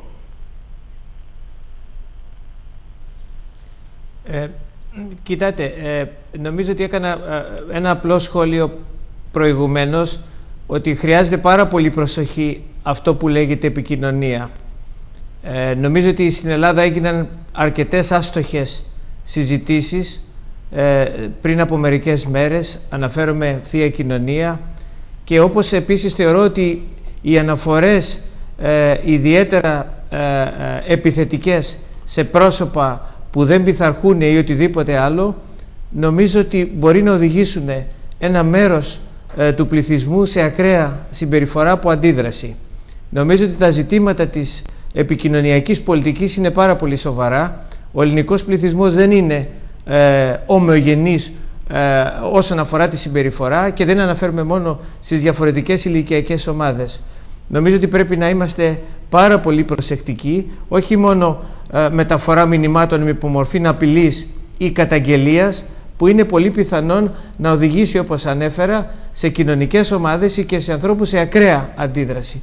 Γι' αυτό το λόγο νομίζω ότι χρειάζεται η Ελλάδα μια πολύ προσεκτική επικοινωνιακή πολιτική που πιθανόν να διαφοροποιείται από περιφέρεια σε περιφέρεια και να λαβαίνει υπόψη τα χαρακτηριστικά του τόπου, του πολιτισμού και των ανθρώπων. Για να μπορεί ο κόσμος να αποδεχτεί περισσότερο αυτή την προσπάθεια. πραγματικά Α, ακριβώς, γιατί διαφορετικά μπορούμε να αποθήσουμε ανθρώπους, ομάδες σε ακραίες συμπεριφορές, είτε γιατί θίγονται οι ιδεολογίες τους, είτε γιατί αισθάνονται πραγματικά ότι ελέγχονται ή κατα, περιορίζονται τα δικαιώματά τους. Μάλιστα. Άρα συνεπώς ο λόγος, η επικοινωνία, κύριε Δασκαλάκη, είναι πολύ σημαντικό μέσο, άλλωστε αποτελεί και την καλύτερη μορφή τέχνης σήμερα. Κύριε καθηγητά, κύριε Αχιλέα Γκίκα, θέλω να σταθούμε λίγο στο κομμάτι της προσέλευσης στη δημόσια υγεία. Πότε πάμε σε ένα νοσοκομείο και τι είναι αυτό που πρέπει να μας στρεσάρει αν νιώσουμε κάποια συμπτώματα στο σπίτι. Καταρχήν πρέπει να θίξω και εγώ το κομμάτι της ατομικής ευθύνης. Κοιτάξτε, αυτή τη στιγμή όλη η χώρα είναι στραμμένη προς την αντιμετώπιση αυτού του κινδύνου. Θέλουμε λοιπόν οι γιατροί είναι συγκεντρωμένοι, συντεταγμένοι με πρόγραμμα. Όπως είδαμε μέχρι τώρα υπάρχει πρόγραμμα και υπάρχει και αυστηρό και σκληρό πρόγραμμα και όλα τα πράγματα γίνονται βήμα προς βήμα. Θέλουμε λοιπόν και τη συμμετοχή των πολιτών. Έχουμε ανάγκη από την συμμετοχή των πολιτών, από την υπευθυνότητά τους. Πιστεύουμε ότι θα μας στηρίξουν γιατί εδώ είναι το κρίσιμο σημείο και αυτό το σημείο θέλουν να το, θέλουμε να το προσέξουν και να μας στηρίξουν. Τώρα από εκεί και πέρα κάποιες απλές κινήσεις δεν πρέπει να γίνονται. Παραδείγματος χάρη, ένας απλός βήχας, ένας απλός πυρετός σε ένα άτομο το οποίο είναι κάτω από 65, κάτω από 70 λέει το Υπουργείο, δεν σημαίνει τίποτα. Οι νέες ηλικίες, το έχουμε ξαναπεί, δεν επηρεάζονται από τον ιό. Πρώτον. Δεύτερον, έτσι αλλιώς δεν υπάρχει οδηγία να τους κάνουμε τεστ. Άρα το να έρθουν για ένα, μια καταρροή, ένα πυρέτιο, ένα απλό πονοκέφαλο, ε, ε, ε, ένα βήχα κτλ. Δεν έχει νόημα αν δεν έχει επηρεαστεί ο ίδιος και αν δεν, αν δεν επικοινωνήσει με τον γιατρό του. Ευτυχώς μας βοηθούν οι γιατροί της πόλης. Και τέτοια περιστατικά τα, τα, τα εμποδίζουν να έρθουν στα εξωτερικά ιατρία, στα, στα επίγοντα των νοσοκομείων. Δεν υπάρχει λόγος αν δεν έχει τέτοιο πρόβλημα. Κύριε καθηγητά... είναι ότι δεν έχει νόημα, το λένε όλοι, ο Παγκόσμιος Οργανισμός Υγείας δεν έχει νόημα να κάνουν ιδιωτικό τεστ. Δεν θα, δεν θα κάνει τίποτα το ιδιωτικό τεστ α, παρά το να αυξήσει την αγωνία των ανθρώπων. Η κλινική εικόνα καθοδηγεί τα πάντα. Εάν ο γιατρός έστω και τηλεφωνικά ο προσωπικός τους, τους δώσει την εντολή, πηγαίνει στο νοσοκομείο, ευχαρίστως θα έρθει και θα τον δεχθούμε. Ποιο είναι, ποια είναι αυτά τα συμπτώματα, ερώτημα τηλεθεατή. Βλέπω ότι οι περισσότεροι τηλεθεατές ε, εστιάζουν σε αυτό το ερώτημα. Ποια είναι λέει, τα συμπτώματα που μπορεί να μας μπερδέψουν και να μην πρόκειται για κορονοϊό; Δηλαδή, ποια είναι τα συμπτώματα του κορονοϊού, το λέγω πιο απλά. Γιατί είδαμε νωρίτερα και αυτά τα στοιχεία που διαχωρίζουν τη γρήπη από τον κορονοϊό και από το κρυολόγημα σαφή στοιχεία διαχωρισμού ε, δεν υπάρχουν. Όλες οι λοιμώξεις του ανώτερου αναπνευστικού όπως ξεκινάει ο κορονοϊός ε, έχουν περίπου την ίδια συμπτωματολογία. Δηλαδή πυρετό, βήχα και καμιά φορά δύσπνοια.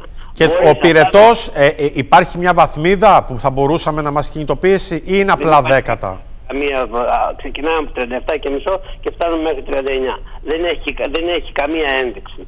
Λοιπόν, άρα λοιπόν αυτό, αυτή η τριπλέτα πυρετός, βήχας και δύσπνοια είναι τα τρία χαρακτηριστικά. Βήχας ή, φτε, ή και το φτέρνισμα. Γιατί μπορεί έχεις... να είναι ένα, όχι, όχι, όχι. Ούτε το φτέρνισμα ούτε η καταρροή δεν υπάρχουν στη λίστα του ΕΟΔΗ. Τα τρία συμπτώματα είναι πυρετός, βήχας και δύσπνοια. Είτε Άρα είναι πολύ σημαντικό αυτό που λέτε, μια απλή καταρροή, μια απλή καταρροή και λίγα, ε, λίγα δέκατα ή μια απλή καταρροή και φτέρνισμα δεν πρέπει να μας πανικοβάλει, όμως πρέπει να μας κρατά για προληπτικούς λόγους στο σπίτι μας. Αυτό που κάνουμε λοιπόν είναι να καθίσουμε σπίτι μας. Υπάρχουν και άλλοι οι οποίοι κυκλοφορούν αυτόν τον καιρό. Και όχι μόνο της γρήπης αλλά και άλλοι. Έτσι. Πρόσφατα είχαμε βγάλει ε, έναν μεταπνευμονοβάιρους, δύο-τρεις που δεν το ξέρει ο κόσμος αλλά είναι ιός της εποχής και προκαλεί περίπου τα ίδια συμπτώματα, ε, βρήκαμε δύο-τρία τέτοια. Άρα λοιπόν δεν σημαίνει τίποτα αν έχουμε πυρετό, βήχα και λίγη καταρροή, περιμένουμε με υπομονή. Αν κάτι δεν πάει καλά, τότε απευθυνόμαστε στο νοσοκομείο. Αλλιώς δεν υπάρχει λόγο. ή στον ιδιωτικό μας γιατρό. Πάντως, οφείλω να πω ότι μας μάθατε πώς πλύνουμε τα χέρια μας από την εκπομπή Αντιθέσεις με τον Γιώργο την περασμένη Παρασκευή. Ε, το ακολουθούν πάρα πολύ. Το είδα και στην πράξη, κύριε Γκίκα. Να σας ευχαριστήσω πάρα πολύ. Θέλω να ευχαριστήσω και εσάς, κύριε Λιονί, πάρα πολύ. Ήταν πολύ σημαντική η συμβολή σας απόψε. Δύο εξαίρετοι καθηγητές του Πανεπιστημίου Κρήτης που νομίζω αποτελούν πραγματικά στολίδι για την επιστημονική μας κοινότητα. Ένα τελευταίο σχόλιο από σας κύριε Λιονί για να σας αποδεσμεύσω. Ε, νομίζω ότι έμεινα προηγουμένως ε, στη διατήρηση ε, αυτής της συγκέντρωσης και του καινούριου στοχασμού. Ε, έχει πολύ μεγάλη σημασία γιατί ακούω πολύ συχνά το μένουμε στο σπίτι αλλά κύριε Δασκαλάκη δεν σημαίνει ότι μένουμε στο σπίτι και κοιτάζουμε τηλεόραση, ε, τρώμε τις πίτσες και πίνουμε τις μπύρες ε, σημαίνει ότι πρέπει να κρατήσουμε τους εαυτούς μας σε μια πολύ καλή κατάσταση. Ε, ακριβώς από πλευράς κινητικότητας δεν έχουμε τη δυνατότητα να βγούμε έξω, αλλά έχει μεγάλη σημασία η άσκηση που πρέπει να συζητηθεί ακόμη και μέσα στο σπίτι. Έχει πολύ μεγάλη σημασία η διατροφή που θα πρέπει να κρατήσουμε και κυρίως η ανάπτυξη ενός ισχυρού μέσω τηλεφώνου, μέσω οποιοδήποτε άλλης επικοινωνίας. Πρέπει να δυναμώσουμε όσο μπορούμε περισσότερο τις σχέσεις και, ε, και ακόμη, το, ο τελευταίος μου λόγος, να μην συζητάμε συνέχεια για τον κορονοϊό. Σας παρακαλώ πάρα πολύ, ας ξαναθυμηθούμε τόσα πολλά πράγματα που έχουμε, χαρές, ε, ε, ευγενικές στιγμές, ε, σκέψεις ακόμη για το μέλλον που δεν είναι απαραίτητο να είναι το μέλλον Μάλιστα. ακριβώς αυτό που σκεφτόμαστε πριν από χρόνια. Πολύ, ορ... πάρα πολύ. πολύ ορθό αυτό που είπατε και μακάρι να το ακολουθήσουμε όλοι. Σας ευχαριστώ και τους δύο. Σας ευχαριστώ. Σας καληνυχτίζουν εδώ και οι εξαιρετικοί καλεσμένοι που με υπομονή περιμένουν. Αντιλαμβάνονται ότι αυτή τη στιγμή τον πρώτο λόγο πρέπει να έχει η επιστημονική κοινότητα. Θα, σας ευχαριστώ πολύ. Καλό σας βράδυ. Θα έρθω σε εσάς κύριε Τσικανδυλάκη, γιατί βλέπω ότι υπάρχει βροχή ερωτημάτων. Έχουμε τα νέα μέτρα. Από την Τετάρτη κλείνουν τα καταστήματα ε, λιανικού εμπορίου, κύριε Κουμαντάκη. Τα φαρμακεία λειτουργούν με έναν διαφορετικό τρόπο. Ε, θέλω να μου πείτε πολύ γρήγορα, κύριε Τσικανδυλάκη, ποια είναι τα νέα δεδομένα στη λειτουργία των φαρμακείων, γιατί ο κόσμος ανησυχεί ότι δεν θα βρει τα φάρμακά του και τα σχετικά. Καταρχήν να πω ότι αυτή τη στιγμή το φαρμακείο είναι ο επόμενος πυλώνας, ο οποίος θα ακολουθηθεί από τον ασθενή μετά το νοσοκομείο. Είναι ένα πολύ σημαντικό επιστημονικό πολύ σκαλοπάτι αυτής της βαθμίδας. Και θέλω να τονίσω την προσφορά των συναδέλφων, ειδικά στην ενδοχώρα, ειδικά στην επαρχία, όπου δεν υπάρχουν γιατροί, όπου δεν υπάρχουν ε, νοσηλευτές, όπου δεν υπάρχουν κέντρα υγείας και τι προσφορά κάνουν αυτοί οι άνθρωποι με τις γνώσεις τους και με την ε, αυτοθυσία, και με την αυτοθυσία τους καμιά φορά. Ποια είναι τα δεδομένα; Καταρχήν, αυτή τη στιγμή προσπαθούμε, σαν Πανελλήνιος Ασφαλιστικό Σύλλογος, καταφέραμε να. Α, και πετύχαμε το να σταματήσουν οι εξαγωγές σε πάρα πολλά φάρμακα. Αυτό συνεπάγεται ότι θα, δούμε, θα μειωθούν οι ελλείψεις σε φάρμακα που καθημερινά τα, ε, τα αντιμετωπίσαμε. Άρα είναι πάρα πολύ σημαντικό ότι τουλάχιστον θωρακιζόμαστε όσον αφορά τις να πω κάτι, να πω κάτι, κύριε Δασκαλάκη.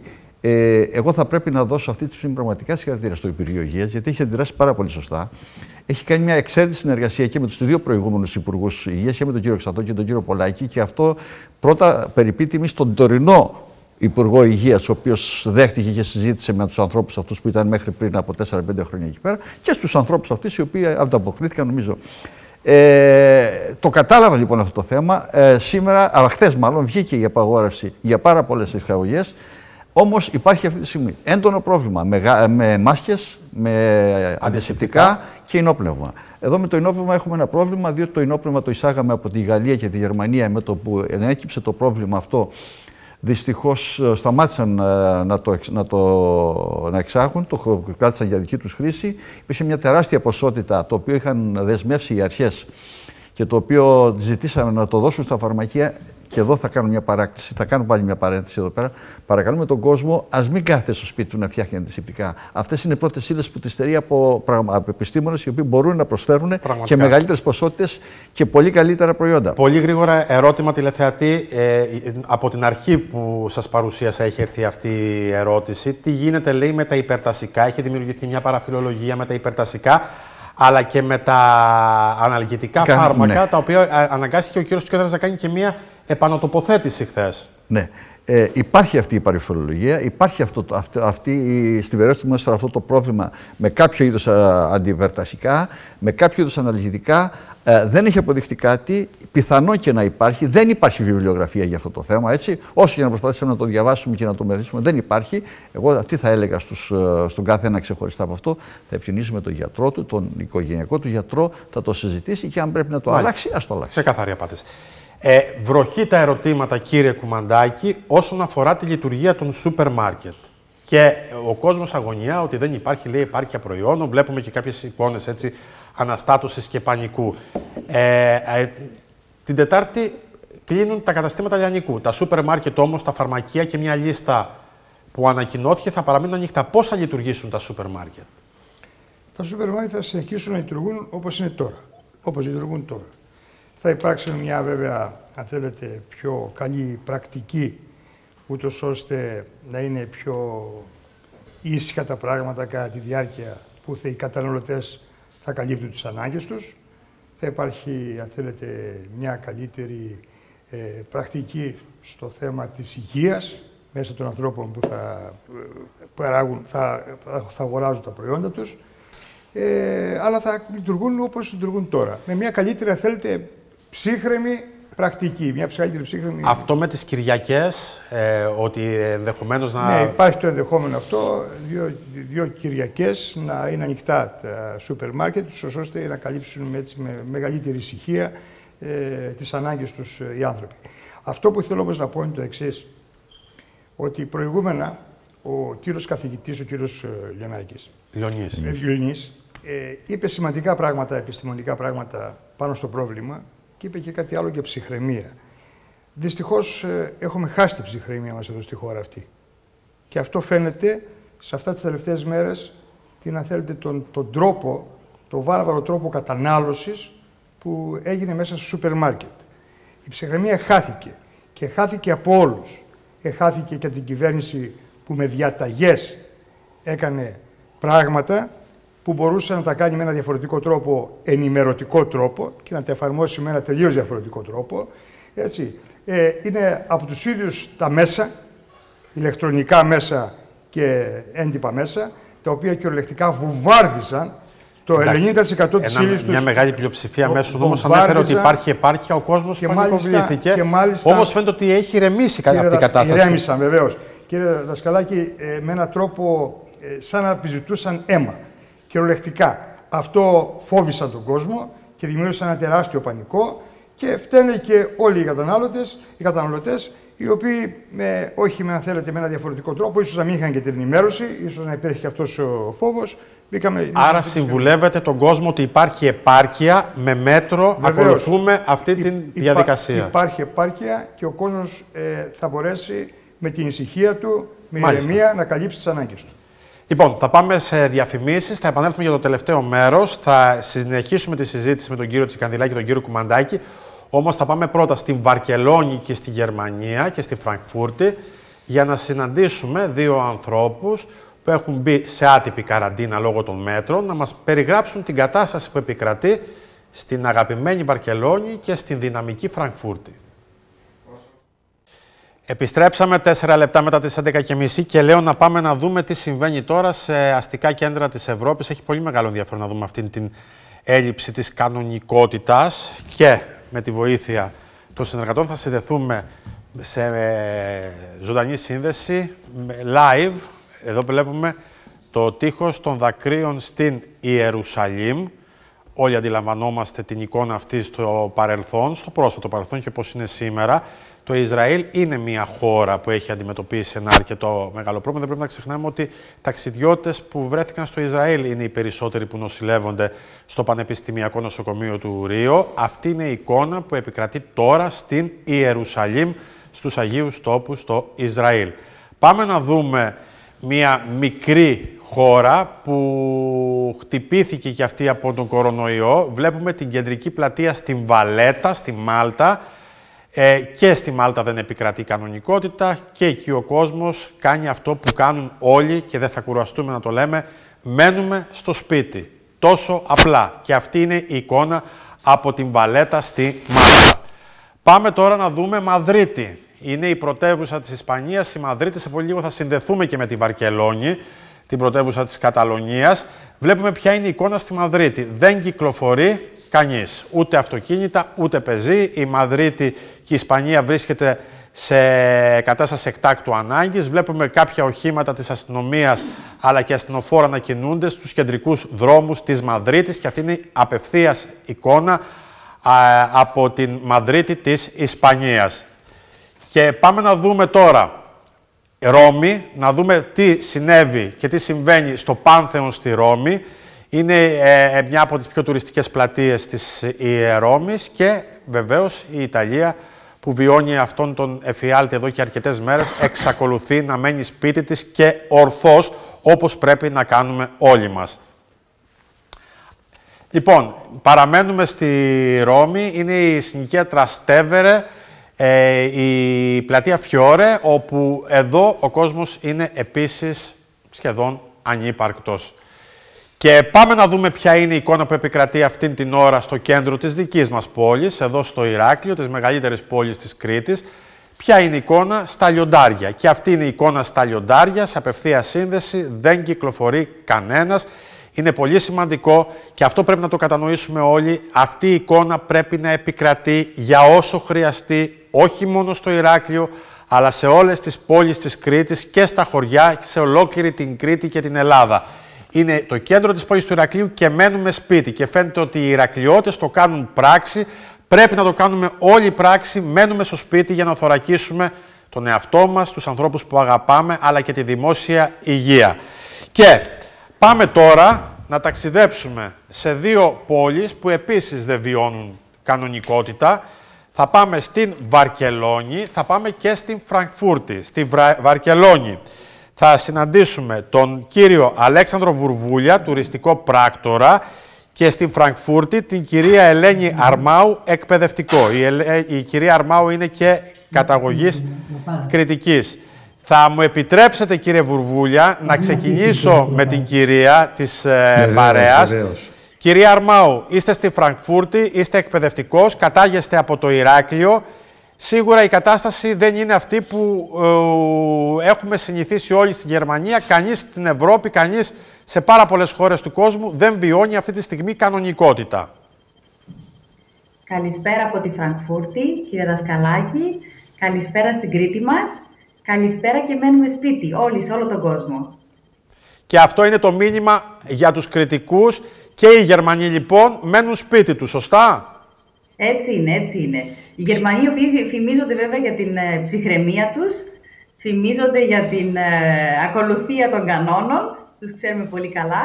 Ε, επικρατεί αυτή τη στιγμή μία, θα έλεγα, πολύ μεγάλη ηρεμία στους δρόμους. Μάλιστα. Θα επιστρέψω σε εσάς να πάμε και στον κύριο Βουρβούλια. Κύριε Βουρβούλια, ποια είναι η εικόνα που επικρατεί στην Βαρκελόνη; Ουσιαστικά και εσείς και η κυρία Αρμάου μαζί με τις οικογένειές σας βρίσκεστε σε μια άτυπη καραντίνα μετά τα έκτακτα μέτρα που έχουν ληφθεί και στην Ισπανία. Ακριβώς. Καλησπέρα και από την Βαρκελόνη, στην όμορφη Κρήτη. Είμαστε και εμείς σε καραντίνα. Είμαστε στο σπίτι. Μένουμε σπίτι. Οικογενειακώς. Προσέχουμε. Η κατάσταση είναι όπως την περιγράψατε. Στην Ισπανία ε, με αρκετά κρούσματα, σχεδόν 10.000 αυτή τη στιγμή που μιλάμε. Ε, δυστυχώς αρκετούς θανάτους. Η κατάσταση είναι σε έκτακτη ανάγκη, όπως το είπαμε και πριν. Η χώρα είναι σε στάση. Μένουμε σπίτι όλοι. Η Ισπανία φαίνεται ότι έκανε το ίδιο λάθος που έκανε και η Ιταλία. Δεν έλαβε εγκαίρως τα μέτρα ή απλά ξέφυγε η κατάσταση; Θα έλεγα ότι ε, ίσως να υπήρξε και μια καθυστέρηση, αν το δούμε. Εγώ δεν είμαι ειδικός, ε, δεν είμαι γιατρός, δεν είμαι λοιμοξιολόγος, αλλά από τα αποτελέσματα βλέπουμε ότι 10.000 κρούσματα είναι πολλά. Άρα ε, θεωρώ ότι η Ελλάδα έκανε πολύ καλά και κάνει πολύ καλά που παίρνει τα μέτρα ε, το συντομότερο δυνατόν. Και πότε, πότε αντιληφθήκατε ως πολίτες στην Ισπανία, κύριε Βρουβούλια, ότι κάτι δεν πάει καλά; Δηλαδή, την περασμένη, πριν από 10 ημέρες δεν φαινόταν αυτή η εικόνα τουλάχιστον για αυτούς που δεν γνωρίζουν να αναλύουν τους ακριβώς, αριθμούς. Ακριβώς, ακριβώς. Ε, θα έλεγα ότι ίσως το τελευταίο δεκαήμερο, μια μισή εβδομάδα, συνειδητοποιούμε τη σπουδαιότητα και το μέγεθος του προβλήματος, αν μπορώ να το πω έτσι. Γιατί περί προβλήματος πρόκειται. Κυρία... ναι, ναι. ναι, ναι. Θα έλεγα ότι πριν δύο εβδομάδες το βλέπαμε πολύ μακρινό. Το βλέπαμε ότι είναι στην Κίνα, ότι κάτι γίνεται, ότι χτίζουν νοσοκομεία, ότι υπάρχει πρόβλημα. Αλλά δεν μπορούσε να φανταστεί κανένας ότι αυτό θα το ζούσαμε μετά από 10 μέρες και θα ήμασταν αυτή τη στιγμή που μιλάμε με κλειστά σχολεία, με κατοίκων, ε, δεν θα έλεγα περιορισμό, αλλά τέλος πάντων ε, συστάσεις να μένουμε στο σπίτι.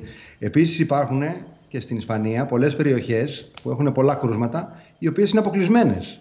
Οι κομοπόλεις ολόκληρες, στις οποίες δεν μπορείς ούτε να βγεις, ούτε να, να μπεις. Ε, ποιο είναι το μήνυμα που θέλετε να στείλετε στην πατρίδα σας, στου Έλληνες, που βιώνουν αυτή την πραγματικότητα και χαιρόμαστε που λέτε ότι καταφέραμε να πάρουμε αυτά τα μέτρα λίγο πιο, πιο νωρίς από την Ισπανία. Ποιο είναι αυτό που θέλετε να στείλετε ως μήνυμα με βάση την πραγματικότητα που βιώνετε εσείς στην Ισπανία τώρα; Εγώ θα έλεγα ε, πολύ απλά πράγματα. Ακολουθούμε τις συστάσεις των ειδικών. Μένουμε σπίτι, όπως πολύ σωστά υπόθηκε. Προσέχουμε τους ηλικιωμένους και τις ευπαθείς ομάδες.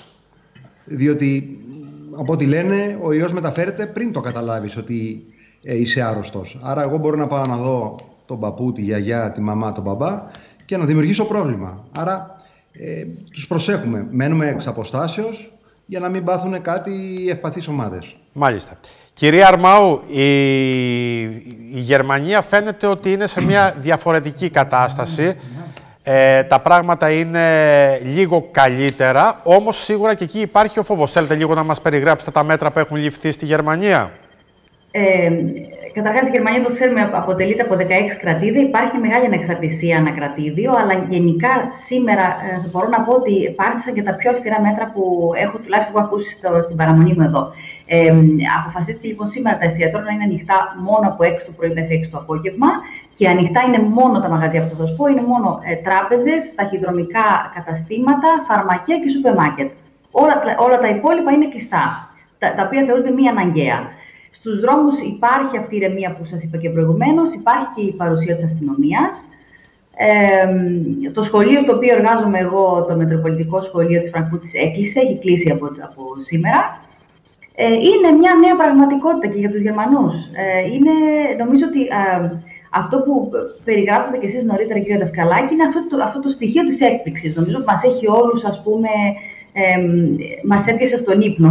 Κυρία Αρμαού, είστε και Ηρακλειώτησα, σας βλέπει βεβαίως, να υποθέσω βεβαίως. η οικογένειά σας. Τι θέλετε μήνυμα, ποιο μήνυμα θέλετε Τι... να τη στείλετε; Α, με επιτρέψετε, ναι, ευχαριστώ πάρα πολύ για το σκαλάκι στη μαμά μου, τη Στέλλα, στη, στον Τάκη και στη Μαριάνθη. Πολλά, πολλά φιλιά να τους στείλω. Ε, τους σκέφτομαι και ένα, νομίζω, τουλάχιστον ένα, ένα φόβο που έχουμε, αν θέλετε, μέσα μας η, η, η, η κριτική του εξωτερικού της Ευρώπης, αλλά και από άλλες περιοχές, είναι αν θα μπορέσουμε να ταξιδέψουμε για το Πάσχα. Αυτό είναι, είναι ένα δραματικό στοιχείο, μπορώ να πω. Δηλαδή, θέλουμε να δούμε την οικογένειά μας. Εγώ θα σας το ευχηθώ. Πολλά, πολλά και την, την, την υπομονή τους ε, ε, θέλουμε και εμείς να την ενισχύσουμε όσο μπορούμε την αγάπη μας. Εγώ θα σας το ευχηθώ, αλλά ακόμα και αν δεν μπορούμε να ταξιδέψουμε το Πάσχα, να μείνουμε στο σπίτι μας για να μπορούμε να ταξιδέψουμε το καλοκαίρι και για να μπορούμε να ταξιδεύουμε γενικώς. Είναι μια δοκιμασία που αφορά ολόκληρο τον κόσμο. Νομίζω ότι όλοι μας πρέπει να μείνουμε στο σπίτι. Τι μας ζητούν, να βάλουμε τις πιτζάμες, να κάτσουμε στο καναμπέ και να ασχοληθούμε με τους ανθρώπους που αγαπάμε και με πράγματα που ενδεχομένως υπό νορμάλες συνθήκες δεν θα τα είχαμε. Κύριε Βουρβούλια, θα έρθω σε εσάς. Είστε στο σπίτι σας μαζί με την υπέροχη οικογένειά σας που την χάνει να γνωρίζω και θέλω να μεταφέρετε και δημοσίως τα χαιρετίσματά μου. και βεβαίως με την ευχή να τα πούμε τον Αύγουστο στο γνώριμο σημείο στο Ρέθυμνο. Ακριβώς, ακριβώς, με υγεία. Είστε και τουριστικός πράκτορας. Θα ήθελα ένα σύντομο σχόλιο. Ε, έχετε ένα από τα μεγαλύτερα τουριστικά γραφεία που ε, διοργανώνει συνέδρια εκεί στην Ισπανία; Η αλήθεια είναι ότι είναι αρκετά νωρίς για να μπορέσουμε να μετρήσουμε τις συνέπειες της κρίσης αυτές. Θα είμαστε σε θέση αργότερα να το δούμε. Είναι δεδομένο ότι οι συνέπειες θα είναι αρκετά σοβαρές. Οι εταιρείες, όπως καταλαβαίνετε, δεν κάνουν εκδηλώσεις εταιρικές, έχουν σταματήσει μέχρι τον Ιούνιο-Ιούλιο και προληπτικά, αλλά και πιθανόν από ε, όχι φόβο, προληπτικά θα έλεγα είναι η κατάλληλη λέξη. Άρα ε, όλη η δουλειά επικεντρώνεται στο δεύτερο εξάμεινο. Το κομμάτι το leisure των διακοπών, ενώ είχε ξεκινήσει καλά το Γενάρη και το Φλεβάρι, έχουμε ένα μήνα τώρα που έχει σταματήσει και από ό,τι φαίνεται και με το κλείσιμο των ξενοδοχείων μέχρι τις 30 Απριλίου ε, θα υπάρξει μια κάμψη. Και επίσης γεννάται και ένα ερώτημα, χωρίς να θέλω να κινδυνολογήσω, ε, μετά από την, ε, την κρίση αυτή του ιού και προφανώς και την ε, ε, συνέπειες που θα έχει σε όλους τους κλάδους, κατά πόσο ο κόσμος θα θελήσει να ταξιδέψει φέτος το καλοκαίρι. Ενδέχεται δηλαδή να δούμε και μία κάμψη ε, από... Γενικότερη. Τον, γενικότερη, ναι, από πρεκοσιόν, από ε, πρόληψη. Λοιπόν, εγώ θα σας ευχηθώ κύριε Βουρβούλια να περάσετε όσο το δυνατόν πιο ευχάριστα την παραμονή σας μαζί με την οικογένειά σας ε, και πολύ γρήγορα να μπορούμε να τα πούμε και από κοντά. Κυρία Αρμάου και σε εσάς, εύχομαι τα καλύτερα, καλή δύναμη. Έτσι κι αλλιώς δεν κάνετε κάτι διαφορετικό από ό,τι εμείς εδώ. Όλοι μένουμε στο σπίτι και θέλω να στείλουμε αυτό το μήνυμα. Όλη η Ευρώπη μένει στο σπίτι για να μπορούμε να βρεθούμε ξανά από κοντά και να ταξιδέψουμε όσο το δυνατόν γρηγορότερα. Γιατί σίγουρα, και αυτό πρέπει να σκεφτόμαστε, ότι αυτή η κανονικότητα, αυτή η μη κανονικότητα θα επανέλθει και είναι στο χέρι μας να βοηθήσουμε έτσι ώστε να επανέλθει όσο το δυνατόν γρηγορότερα. Γι' αυτό το λόγο μένουμε στο σπίτι. Καλό σας βράδυ και στη Βαρκελόνη αλλά και στη Φραγκφούρτη. Καλό βράδυ. Καλό βράδυ και Γεια από εμάς. σας. Λοιπόν, ε, θα ήθελα, κύριοι, να δούμε μία πολύ γρήγορη συνέντευξη που παραχωρήθηκε πριν από λίγη ώρα, πριν από δύο ώρες περίπου, στην Κατερίνα Σαλαπάτα ε, και στο κεντρικό μας δελτίο από τον κύριο Αχιλέα Γκραβάνη, τον καθηγητή φαρμακολογίας, γιατί είναι πολύ σημαντικό ότι η επιστήμη δεν κάθεται με τα χέρια σταυρωμένα, τρέχει για να προλάβει και φαίνεται ότι έχει κάποια όπλα στα χέρια της που πολύ γρήγορα θα μπορούσαν να γίνουν και όπλα ολκής. Τι είπε λοιπόν ο καθηγητής στην, στην Κατερίνα της Σαλαπάτα; Πάμε να ακούσουμε. Α, κοιτάξτε, ε, ε, θα ήθελα να, στην παρέμβασή μου να αναφερθώ σε τρεις ομάδες ε, φαρμάκων ε, που είναι και το, το αντικείμενό μου. Θα πάμε και Ε, σε αυτό η- βεβαίως. Η πρώτη ομάδα φαρμάκων ε, είναι, δεν έχει να κάνει με το ε, ε, σαφές καθαρό αντικείμενό μου, αλλά έχει να κάνει με τους πολίτες. Μέχρι να αναπτύξουμε εμβόλια και φάρμακα, τα οποία είναι βέβαιο ότι θα γίνουν, ε, θα γίνει είτε στο τέλος του χρόνου είτε στις αρχές του επόμενου χρόνου. Το πρώτο και το καθοριστικό φάρμακο είναι η συμπεριφορά μας όσον αφορά τη διασπορά του ιού. Ο ιός είναι εξαιρετικά επικίνδυνος, δεν έχει καμία σχέση με τον ιό της γρήπης, όπως πιστεύαμε στην αρχή. Έχει ε, ανθεκτικότητα, έχει δυνατότητα μο- ε, μόλυνσης πολύ, ε, πολύ σημαντικότερα μεγαλύτερη από τον ιό της γρήπης. Ο μόνος τρόπος μέχρι να βρούμε εμβόλια και φάρμακα, το οποίο ξαναλέω ότι θα γίνει κάποια στιγμή, είναι να μπορέσουμε να μείνουμε στο σπίτι και να ε, ε, αναστείλουμε την διασπορά της, ε, της λίμωξης. Ε, μετά από αυτό το οποίο θεωρώ το, το εκ του νόνου κάνευ συνθήκη για να μπορέσουμε να μιλήσουμε για τα επόμενα δύο ε, υπάρχουν δύο κατευθύνσεις. Η μία κατεύθυνση αφορά ε, πάντα στις λοιμώξεις συζητιέται αυτό, η προφύλαξη και αναφέρομαι στην, ε, ε, στην ανοσοποίηση με εμβόλια. Η δεύτερη αφορά στους ε, ε, συνανθρώπους μας που έχουν ήδη μολυνθεί από τον ιό, εκφράζουν κλινικά τη λίμωξη και πρέπει να ε, θεραπευτούν με τη χρήση διαφόρων φαρμάκων. Στην πρώτη ε, κατεύθυνση α, τα πράγματα προχωρούν πάρα πολύ γρήγορα. Ε, είναι πραγματικά εντυπωσιακό, θα έλεγα συγκλονιστικό επιστημονικά, πώς μέσα σε τρεις σχεδόν μήνες η παγκόσμια επιστημονική κοινότητα κατόρθωσε να χαρακτηρίσει το γονιδίωμα του ιού, να χαρακτηρίσει την χημική σύσταση του ιού και πριν λίγες μέρες την κρυσταλλική δομή της πολυμεράσης που είναι το βασικό υλικό του, το βασικό ένζυμο του ιού το οποίο χρησιμοποιεί όταν μας μολύνει για να παράξει σε εκατομμύρια αντίτυπα το, τον εαυτό του και να μας ε, μολύνει πλέον σε, στο, στους πνεύμονες και σε άλλα όργανα. Ε, ε, υπάρχει ήδη πολύ μεγάλη προσπάθεια για το εμβόλιο. Σήμερα ξεκινάει, ξεκίνησε μάλλον στο Σιάτλ της Αμερικής η πρώτη κλινική δοκιμή για το πρώτο εμβόλιο κατά του ιού. Τέλος του μήνα, αρχές του επόμενου μήνα, ξεκινάει μια αντίστοιχη προσπάθεια στα Εθνικά Ιδρύματα ε, Ιατρικών Ερευνών της Αμερικής στη, στη Ουάσιγκτον από ένα εμβόλιο το οποίο έχει ήδη παραχθεί εδώ και κάποιες εβδομάδες στη Βοστόνη από μια μικρή εταιρεία βιοτεχνολογίας στη Μοντέρνα και βέβαια ακολουθούν ε, τουλάχιστον άλλες 7 με 8 μεγάλες και μικρές εταιρείες οι οποίες δουλεύουν ακριβώς σε διαφόρου τύπου και μορφής ε, εμβόλια. Πάντως κύριε Γραβάνη, για να το κάνουμε λίγο σαφές, προς το παρόν ειδική θεραπεία δεν υπάρχει. Ούτε προφύλαξη, ούτε θεραπεία και Ωραία. ούτε πρόκειται να υπάρξει μέχρι το τέλος του χρόνου. Ωραία. Τώρα, δοκιμάζονται διάφορα κοκτέιλ αντιϊκά, αν μπορώ να το θέσω έτσι. Βεβαίως. Κάπου εκεί αναζητείται η απάντηση. Η, η, η short term απάντηση, η απάντηση που μπορεί να δοθεί να μας βοηθήσει πριν το εμβόλιο, είναι ακριβώς αυτή που είπατε. Ε, υπάρχουν δύο κατευθύνσεις όσον αφορά την ανάπτυξη πλέον ε, ε, φαρμάκων, όχι για την προφύλαξη, αλλά για τη θεραπεία των ατόμων που έχουν μολυνθεί. Η μία αφορά γνωστά φάρμακα, φάρμακα τα οποία υπάρχουν στο Διεθνές Συνταγολόγιο, ε, και είναι ενδιαφέρον αυτό γιατί είναι φάρμακα τα οποία έχουν περάσει από την πρώτη φάση του ελέγχου της τοξικότητας στον άνθρωπο και κατά συνέπεια αν αποδειχθούν δραστικά στον ιό ή θα είναι άμεσα χρησιμοποιήσιμα στις, στους ασθενείς. Τέτοια φάρμακα είναι κάποια φάρμακα κατά του ιού του AIDS, τα οποία φαίνεται σε προκλινικά ε, πειράματα να είναι αποτελεσματικά. Ένα φάρμακο ε, το οποίο έχει έρθει και στην Ελλάδα και δοκιμάζεται στην Ελλάδα καταρχάς στο Πανεπιστήμιο ε, της Πάτρας, στο Πανεπιστημιακό ε, Νοσοκομείο της Πάτρας, το οποίο χρησιμοποιήθηκε καταρχάς για τη λίμωξη του έμπολα και δυστυχώς δεν ήταν αποτελεσματικό και φαίνεται ότι στα πρώτα πειράματα είναι αποτελεσματικό για, την, για τον έλεγχο του πολλαπλασιασμού του, του κορονοϊού. Ε, υπάρχουν επίσης πάρα πολλές προσπάθειες για την ανάπτυξη εντελώς νέων φαρμάκων που σχετίζονται μόνο με τον ε, κορονοϊό και ε, αυτό θα επιταχυνθεί μετά την ε, σημαντική ανακάλυψη να ξέρουμε την κρυσταλλική δομή της, πο, της πολυμεράσης, αυτό που ανέφερα προηγουμένως, του ενζήμου που χρησιμοποιεί ο ιός για να πολλαπλασιάσει τον εαυτό του και να μας μολύνει.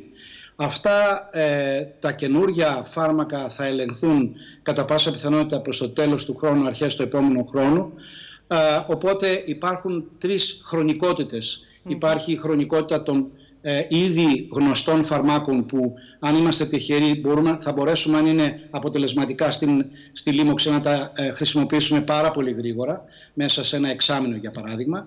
Υπάρχουν τα καινούργια φάρμακα τα οποία θα χρησιμοποιηθούν στον επόμενο χρόνο και βέβαια τέλος του χρόνου, με αρχές του επόμενου χρόνου, ίσως στην εποχή την, αυτή τον επόμενο χρόνο, να έχουμε και το πρώτο εμβόλιο ή κάποια από τα εμβόλια, γιατί δεν θα είναι μόνο ένα. Είναι πολύ αισιόδοξο αυτό που ακούσαμε, κύριε Τσικανδηλάκη, από τον κύριο Γκραβάνη. Θα με επιτρέψετε να καλησπερίσω ξανά και τον πρόεδρο των ξενοδόχων ε, Ηρακλείου, τον ε, Νίκο τον Χαλκιαδάκη. Φίλε Νίκο, θέλω να σου ζητήσω και δημοσίως συγγνώμη, αλλά αντιλαμβάνεσαι ότι όταν υπάρχει βροχή ερωτημάτων, θα κρατήσαμε τους ειδικούς παραπάνω. Έτσι κι αλλιώς, όταν θα περάσει αυτή η μπόρα, θα τα πούμε όλα αναλυτικά, αλλά σε πολύ λίγο θα έρθω σε σένα ε, για να μου δώσεις ένα σχόλιο. Ε, κύριε Τσικανδηλάκη, είναι πολύ σημαντικό αυτό που ακούσαμε από τον κύριο Γκραβάνη. Ε... Ότι η επιστήμη τρέχει, η φαρμακολογία τρέχει, μπορεί αυτή τη στιγμή να μην έχουμε εμβόλια.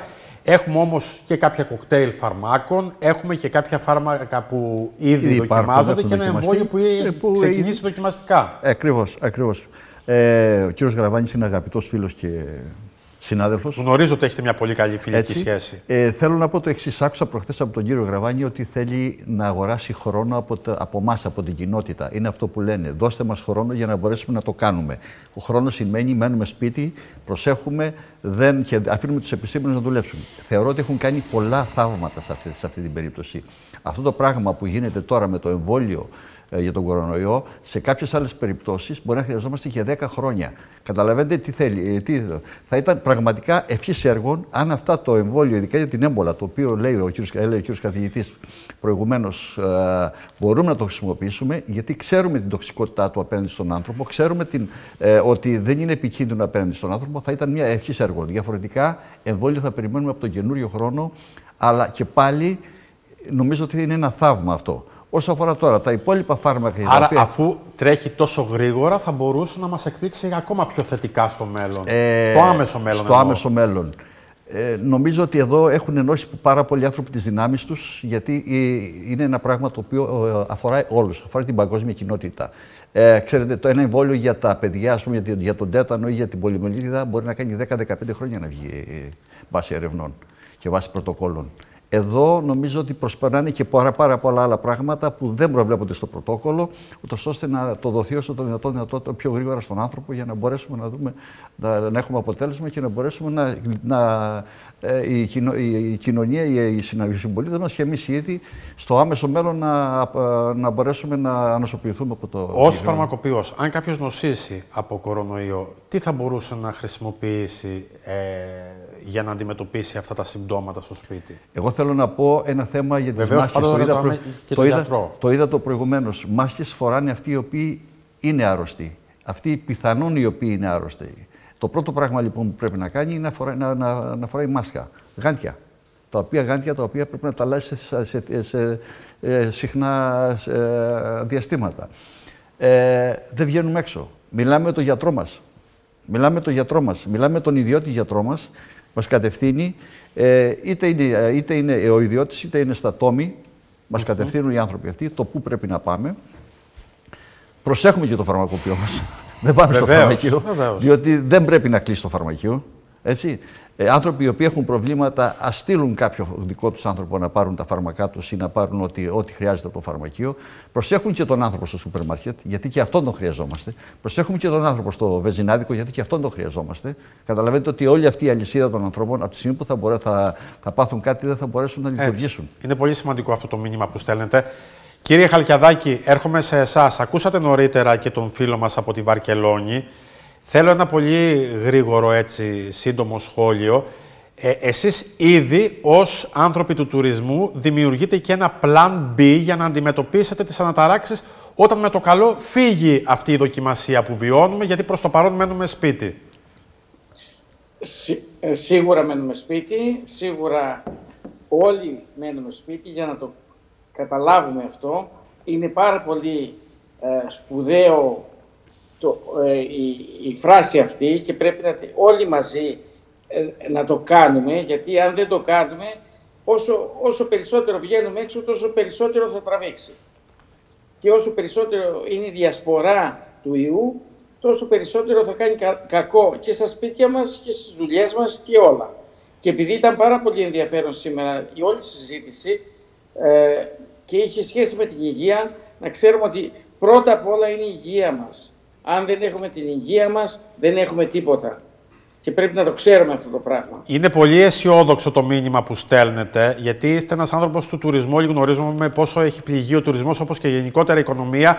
Όμως είναι πολύ σημαντικό να ακούμε από έναν άνθρωπο που αντιμετωπίζει και αυτή την οικονομική δυσκολία, όπως όλοι οι άνθρωποι της, ε, του τουρισμού, αλλά και όλοι οι άνθρωποι γενικότερα στην Ελλάδα, να λένε ότι αυτό που προέχει αυτή τη στιγμή, και αυτό είναι το μήνυμα, αυτό που προέχει αυτή τη στιγμή είναι η δημόσια υγεία, είναι η υγεία του καθενός, των ανθρώπων που αγαπάμε, και όταν με το καλό περάσουμε αυτή τη δοκιμασία, τότε θα τα βάλουμε κάτω και θα δούμε πώς μπορούμε να ξαναβρούμε την δική μας κανονικότητα. Όλα τα πράγματα φτιάχνουν όταν έχουμε την υγεία μας. Έτσι. Κύριε Χαλιαδάκη, σας ευχαριστώ πάρα πολύ. Πραγματικά εξαιρετικό το μήνυμά σας. Και είναι πολύ σημαντικό, κύριε Κουμαντάκη, αυτό που είπε και ο κύριος Τσικανδυλάκης, ότι πρέπει να προσέχουμε τους ανθρώπους που αυτές τις δύσκολες μέρες εργάζονται και στην αγορά. Κύριε ε, Δασκαλάκη, και εγώ και ο κύριος Τσικανδυλάκης ε, σήμερα εδώ με την παρουσία μας, όταν φύγουμε θα νιώσουμε έτσι μια ηρωική πράξη που κάναμε με την παρουσία μας εδώ. Βεβαίως, γιατί φύγατε από το σπίτι σας, βγήκατε από τα σπίτια σας για να έρθετε εδώ. Μια και νιώθω έτσι, όμως ε, θέλω να πω δύο πράγματα, πολύ σύντομα, πολύ πολύ σύντομα. Θα δώσω μια άλλη πτυχή, μια άλλη προσέγγιση του θέματος, χωρίς να έχω διάθεση συνομολογίας. Ε, αυτή η ιστορία θα κρατήσει πολύ, γιατί έχει ένα στρατηγικό σχέδιο. Και αυτό το σχέδιο, θα, για να μπορέσει να επιτευχθεί, πρέπει να διαμορφωθούν οικονομίες να καταστραφούν, οικονομίες να επιβραδυθούν και άλλες οικονομίες μέσα από τη διαδικασία αυτή. Εννοείται αυτό με την οικονομία. Από τη ρομποτική, βεβαίως. Από τη, από τη ρομποτική, αν θέλετε, προώθηση που έχουν κάνει κάποιες οικονομίες, είναι αυτές που θα, επιβαρύσουν, θα, επι, θα ε, μπουν μπροστά και θα προχωρήσουν τον επόμενο ε, αιώνα αυτό στην οικονομία σε παγκόσμιο επίπεδο. Γι' αυτό θα κρατήσει πολύ αυτή η ιστορία. Εδώ στην Ελλάδα περάσαμε 10 χρόνια. Και σε αυτά τα 10 χρόνια, ε, ναι μεν ε, ο, το, το ΑΕΠ το χάσαμε 25, την πραγματική καταγραφή της οικονομίας λέει στο 30%, έτσι, χωρίς να νιώσουμε, χωρίς να δημιουργήσουμε τις σωστές διαθροτικές ε, αν θέλετε, καταγραφές στην, στη χώρα μας, αλλά ένας δεύτερος γύρος θα είναι καταστροφικός. Δεν αντέχει η πραγματική οικονομία ένα δεύτερο γύρο. Γιατί, Γιατί αυτή τη στιγμή κλείνουν, δεν παράγουμε, κλείνουν τα πάντα, δεν πουλάμε, δεν δημιουργούνται έσοδα και τα έσοδα είναι η απορροή των πολλαπλασιαστών ρευστότητας της κοινωνίας. Δεν υπάρχουν έσοδα. Τα έξοδα θα υπάρχουν και μπορεί σε άμεση μήνες τώρα να μην έρθουν έτσι, γιατί θα γίνουν κάποιες ρυθμίσεις, αλλά η ρύθμιση δεν πάβει σαν όγκος να υπάρχει. Το ισοζύγιο λοιπόν θα είναι αρνητικό. Και δεν υπάρχει ενδεχόμενο εύκολα να μπορέσουμε να μπούμε σε μια διαδικασία ανάκαμψης ή αν θέλετε σταθεροποίησης. Είναι τα πράγματα πολύ δύσκολα. Να το δούμε την πτυχή αυτή. Και άκουγα τον κύριο Χαλιαδάκη προηγούμενα στην αρχική του ε, τοποθέτηση ότι είπε τα πράγματα στον τουρισμό είναι δύσκολα. Όντως είναι δύσκολα. Και επειδή σε αυτή τη μεγάλη κρίση της δεκαετίας, όπου όλοι οι πυλώνες της οικονομίας έχουν συνθλιβεί, ο μόνος τουρισμός ήταν αυτός ο οποίος διαχέεται και σε όλη την κοινωνία και στην οικονομία. Αν εφέτος τα πράγματα, μην, μην μπω μια λέξη που πραγματικά θα δημιουργήσει πανικό, τα δύσκολα θα είναι πάρα πολύ μεγάλα. Γι' αυτό πρέπει και αυτοί οι οποίοι διαμορφώνουν πολιτικές να, έχουν, να μην είναι, να είναι λιγότεροι, έτσι αν θέλετε, λιγότερες, ε, να μην πανικο, πανικοβάλλουν τον κόσμο και να μην δημιουργούνται, γιατί πρέπει σε αυτή την ιστορία να βγούμε όσο το δυνατόν αλόβητοι, με την υγεία ναι να υπάρχει, αλλά μην καταστρέψουμε οριστικά Μάλιστα. και ανεμερότητα την οικονομία μας. Πρωτίστως αυτό, βεβαίως, αυτό, σας το, ναι. πρωτίστως βεβαίως, αυτό που προέχει, αυτό που πρέπει να προτάξουμε είναι η δημόσια υγεία. Σας ευχαριστώ πάρα πολύ κύριε. Σας ευχαριστώ και για την απόφασή σας να έρθετε σήμερα εδώ. Νομίζω ότι έχουμε και μια μεγάλη απόσταση μεταξύ μας. Δεν κάναμε ούτε καν χειραψία. την ιδανική. Ε, έχουμε την ιδανική απόσταση. Και εμείς εδώ, οι άνθρωποι της τηλεόρασης, λαμβάνουμε τα μέτρα μας, όπως λαμβάνετε και εσείς στα σπίτια σας και εμείς στα σπίτια μας θα πάμε. Και το μήνυμα είναι ένα.